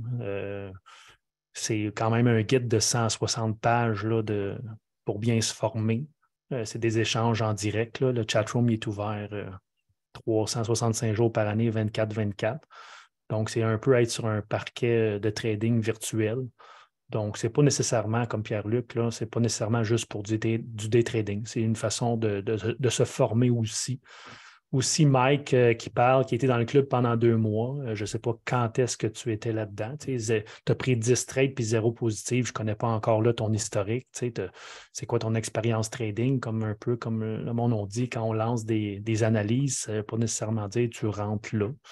Euh, c'est comme un heads up, regarde, puis vas-y selon ton analyse. Mais c'est sûr que depuis les derniers, les derniers mois, le, service s'est beaucoup amélioré, c'est fignolé les scanners sont un petit peu plus précis. Et puis, euh, quand, quand, on prend une position, des fois, euh, quand ça monte de 5% puis on y va pour 20% des fois, c'est peut-être pas super. Là, ou moins quand ça monte de. Mettons, exemple, ton stop, j'ai aucune idée. Là, on donne un exemple. Là. Si, mettons, ton stop il était à 5% de perte, quand tu montes à 5% monte ton stop à break-even. Fait que la trade ne te coûte rien. Là. Des fois, si on est trop greedy, ça se peut que ça ne fonctionne pas. Là. Donc, euh, désolé, Mike, là, mais euh, c'est ça. C'est, c'est pas tout le monde non plus. Un peu comme tu dis, c'est pas ton style, c'est correct. C'est, très bien. C'est un peu dans l'optique que j'ai parlé tantôt. Le day trading, c'est pas pour tout le monde. Euh, ça t'a pris deux mois pour le réaliser, mais on s'entend que, gars, peut-être le day trading, tu n'en feras plus jamais. Puis c'est correct. C'est pas mauvais. peut-être toi, tu es plus style swing trading ou peut-être l'investissement à long terme, titre de qualité. Donc, c'est ça. Euh, plus de vidéos du vendredi, oui, effectivement, on travaille là-dessus. Euh, on travaille là-dessus. Et puis, euh, c'est sûr que j'aimerais ça. J'aimerais ça sauver tout le monde. J'aimerais ça que tout le monde soit profitable, exemple, pour le day trading. L'investissement long terme, si vous voulez avec des titres de qualité, je peux quasiment vous garantir que dans 10, 15, 20 ans, ça va tout bien aller. Mais le day trading, ça, je ne peux pas vous le garantir parce qu'il y a tellement de variables on est-tu discipliné, whatever. Fait que, c'est ça. Euh, on va continuer avec les. Euh, on va continuer avec les questions, euh, Laurent, s'il y en a d'autres. Oui, ben pour faire du pouce sur ce que tu dis, je voulais juste ajouter à Pierre-Luc, tu as tout mentionné nos ressources. Je pense que c'est important de mentionner aussi qu'il y a des, des, cours de formation. Il y a plus de 18 cours de formation, donc 6 heures de contenu au total. Fait que c'est pas, comme François a dit, c'est pas juste un service de day trading, c'est un service qui va chercher plusieurs euh, aspects du trading en général, que ce soit du swing, l'investissement à long terme avec des titres de qualité. Ce n'est pas exclusivement euh, du day trading. Puis euh, Mike aussi, François, il l'a dit, c'est correct que c'était peut-être pas quelque chose qui était nécessairement profitable au moment où tu le fais. évidemment, je pense que c'est important, on, on, le dit souvent, que ce soit Anthony ou François, qu'il ne faut pas suivre simplement des analyses à l'aveugle c'est important avant tout de développer son autonomie. C'est de cette façon-là que ça va être payant sur le long terme. C'est cette façon-là qu'on va réussir en apprenant à gérer son risque, en identifiant par nous-mêmes euh, des entrées possibles, des sorties possibles. Donc, il n'y a pas de secret, c'est comme n'importe quoi. Si ça prend sept ans à un chirurgien pour euh, pratiquer son métier, ben, le trading, c'est un métier aussi. On ne va pas commencer le lendemain si on n'a pas fait l'apprentissage qu'il fallait euh, au préalable. Au-delà de ça, pour d'autres questions, ben, je pense qu'on j'ai plugué l'aspect, les, podcasts sur euh, la fiscalité, qui sont les épisodes 19 à 22, si je ne me trompe pas. Mais euh, David qui demandait comment gérez-vous l'aspect fiscal de vos gains, euh, soit le paiement d'impôts sur gains en capital, oui. la corporation bonne, question. Comment est-ce que tu fais ça, François? Oui, bonne question. On a parlé dans, la, dans un podcast, là, je pense avec Vincent encore. Il y a plusieurs façons de, gérer ça. Ça dépend toujours. Là, si vous voulez, euh, sans donner un cours de fiscalité, là, si vous voulez transiger en compagnie, évidemment, on a des taux un peu plus avantageux. Le premier 500 000 on est imposé seulement à 20% Donc, euh, l'excédent, euh, c'est selon la braquette. Mais aussi, si vous voulez faire du day trading, on ne fait pas ça dans le REER, on ne fait pas ça nécessairement dans le CELI non plus. moi, personnellement, je suis incorporé depuis, depuis toujours. Euh, je transige via ma, compagnie de, gestion. À quel moment qui est plus avantageux de transiger via une compagnie? Puis encore là, c'est tellement des questions euh, pointues. C'est peut-être mieux de vérifier avec notre comptable qui connaît notre situation, mais je peux quand même vous en parler. Euh, ça dépend. Hein. En compagnie, vous pouvez vous donner des dividendes, mais si vous donnez des dividendes, euh, vous ne cotisez pas les déductions à la source. Là, pour votre rente, tout ça, il faut se donner un salaire. Donc, euh, on jase, on dit des chiffres. Si vous êtes en compagnie, puis vous faites 50 000, puis vous donnez 50 000 de salaire, au bout de la ligne, il ne reste plus grand-chose dans la compagnie. Fait que ça ne vaut peut-être pas la peine. Peut-être, c'est peut-être bon d'être en compagnie quand on est capable de générer un certain revenu, puis que l'argent reste dans la compagnie. Comme ça, notre, euh, notre argent est, imposé au petit taux, à seulement 20% donc, après ça, quand on fait un peu plus d'argent, on peut faire un mix de, dividendes, salaires. Mais euh, vite, vite, là, encore là, consultez votre comptable, mais je crois que ça vaut-tu la. Tu sais, passer des dépenses, là, on l'entend souvent passer des dépenses, passer des dépenses, même si vous êtes travailleur autonome puis vous n'êtes pas en compagnie, vous pouvez passer quand même des dépenses. Donc, euh, faites-vous-en pas. Sinon, c'est ça, consultez votre comptable, mais vite, vite, là, si vous dégagez peut-être 100 000 de, de trading, ça vaut peut-être le temps de commencer à penser peut-être être en compagnie. Mais encore là, chaque situation est différente. Consultez votre avocat, euh, votre avocat, votre avocat, avocat fiscaliste, comptable, euh, nommez-le comme vous voulez. Là mais il va pouvoir vous répondre, là, puis peut-être vous faire euh, optimiser votre situation. C'est un mot à la mode, s'optimiser. Ceux qui ont des blocs, là, on optimise, on optimise. La même chose pour le trading ou votre situation euh, financière. Allez voir votre comptable, il va vous optimiser ça, il va vous le dire là, si ça vaut la peine d'être en compagnie ou pas. Bon, ben super, merci, euh, merci François. Je pense que ça conclut la période de questions là-dessus. Anthony, euh, si tu veux euh, enchaîner avec euh, les beaux cadeaux qu'on a réservés pour la suite. Oui, exactement. C'est ça, je suis en train de commenter. Je vais l'envoyer dans une petite seconde. Donc, je vais vous partager un lien vers publication dans le groupe Facebook. Puis, vous allez pouvoir aller commenter moi. Puis, dans le fond, on va publier après ça les cadeaux sur cette publication-là. Donc, vous allez recevoir une notification. Euh, pour la présentation euh, webinaire, on va vous remettre euh, tout de suite après le, fichier en soi PDF, mais pour la présentation vidéo, ça va être ajouté plus tard, juste le temps qu'on on puisse la recevoir puis l'uploader ensuite, que vous l'ayez. C'est ça, parce que, gars, encore là, je fais une parenthèse. Zoom, avant, quand je faisais des présentations ou quand j'enregistrais, c'était uploadé dans le cloud, puis ça se faisait instantané. Mais là, depuis la COVID, hein, la Moses de COVID, ils ont moins d'employés. Et puis, des fois, ça peut prendre cinq minutes, des fois, ça peut prendre une journée, puis ça l'a déjà été jusqu'à deux journées. Donc, la présentation qu'on fait présentement est enregistrée, mais ce n'est pas, pas Laurent, ce n'est pas moi, ce n'est pas Anthony qui gère ça, c'est vraiment Zoom. C'est leur employé. Par le temps que la, formation webinaire soit traitée, qu'elle soit uploadée dans le cloud, ça peut prendre, j'espère pas, là, mais ça peut prendre jusqu'à deux jours. Mais faites-vous-en pas. Après une semaine, euh, bombardez-nous le Messenger, là, mais d'ici deux jours, là, ça devrait être euh, disponible pour tout le monde. Mais on va espérer que quand tantôt on pèse Upload, on va espérer que demain, ça soit disponible. Mais ça peut prendre jusqu'à deux jours. À toi, Anthony. Super, merci François. J'essaie de, de débarrer mon micro. C'est pour ça que le petit bug. Mais euh, ouais, ça conclut la présentation d'aujourd'hui. Un gros merci euh, à tous ceux qui ont pris de leur temps, de leur mercredi soir pour euh, assister à la présentation. On espère que vous avez vraiment euh, que vous avez apprécié, que vous avez appris aussi, que ce soit sur l'investissement, sur le trading, puis que ça, vous ça va vous ouvrir les yeux peut-être sur des concepts importants à appliquer dans l'investissement pour les titres de qualité à long terme ou pour le trading à court terme. Donc, c'était une belle expérience. Pour nous, c'était un premier webinaire sur lequel on travaillait et qu'on préparait. Puis ben, je pense que ça ouvre la porte à de beaux projets futurs et possiblement peut-être d'autres webinaires qui vont peut-être suivre dans les, dans les prochains mois. Donc, restez à l'affût. N'hésitez pas si vous avez d'autres questions, posez-les dans le, dans le groupe Facebook. Ça va nous faire plaisir d'y répondre. Pour les membres du Club des Initiés, évidemment, dans le, dans le chat room, on est toujours là pour vous répondre. Parfait. François, ben, ça finissait mon. Je te laisse conclure avec le, mot de la fin. Oui, le mot de la fin. Au bout de la ligne, euh, on parle tout d'argent, on parle tout d'argent. Le webinaire qu'on vous donne, c'est gratuit, puis il y a plein de ressources. On vous bombarde, puis il y a beaucoup de monde qui ne savent pas où se pitcher. Euh, Laurent, euh, Laurent, ou Anthony pourraient faire un petit recap, mais je vais vous le faire. Là, à la base, là, il y a 16 000 membres dans la communauté Facebook. Le groupe Facebook, c'est gratuit, complètement gratuit. Un peu comme un magasin de iPhone. C'est toute l'information qu'il y a là-dedans, c'est de la qualité.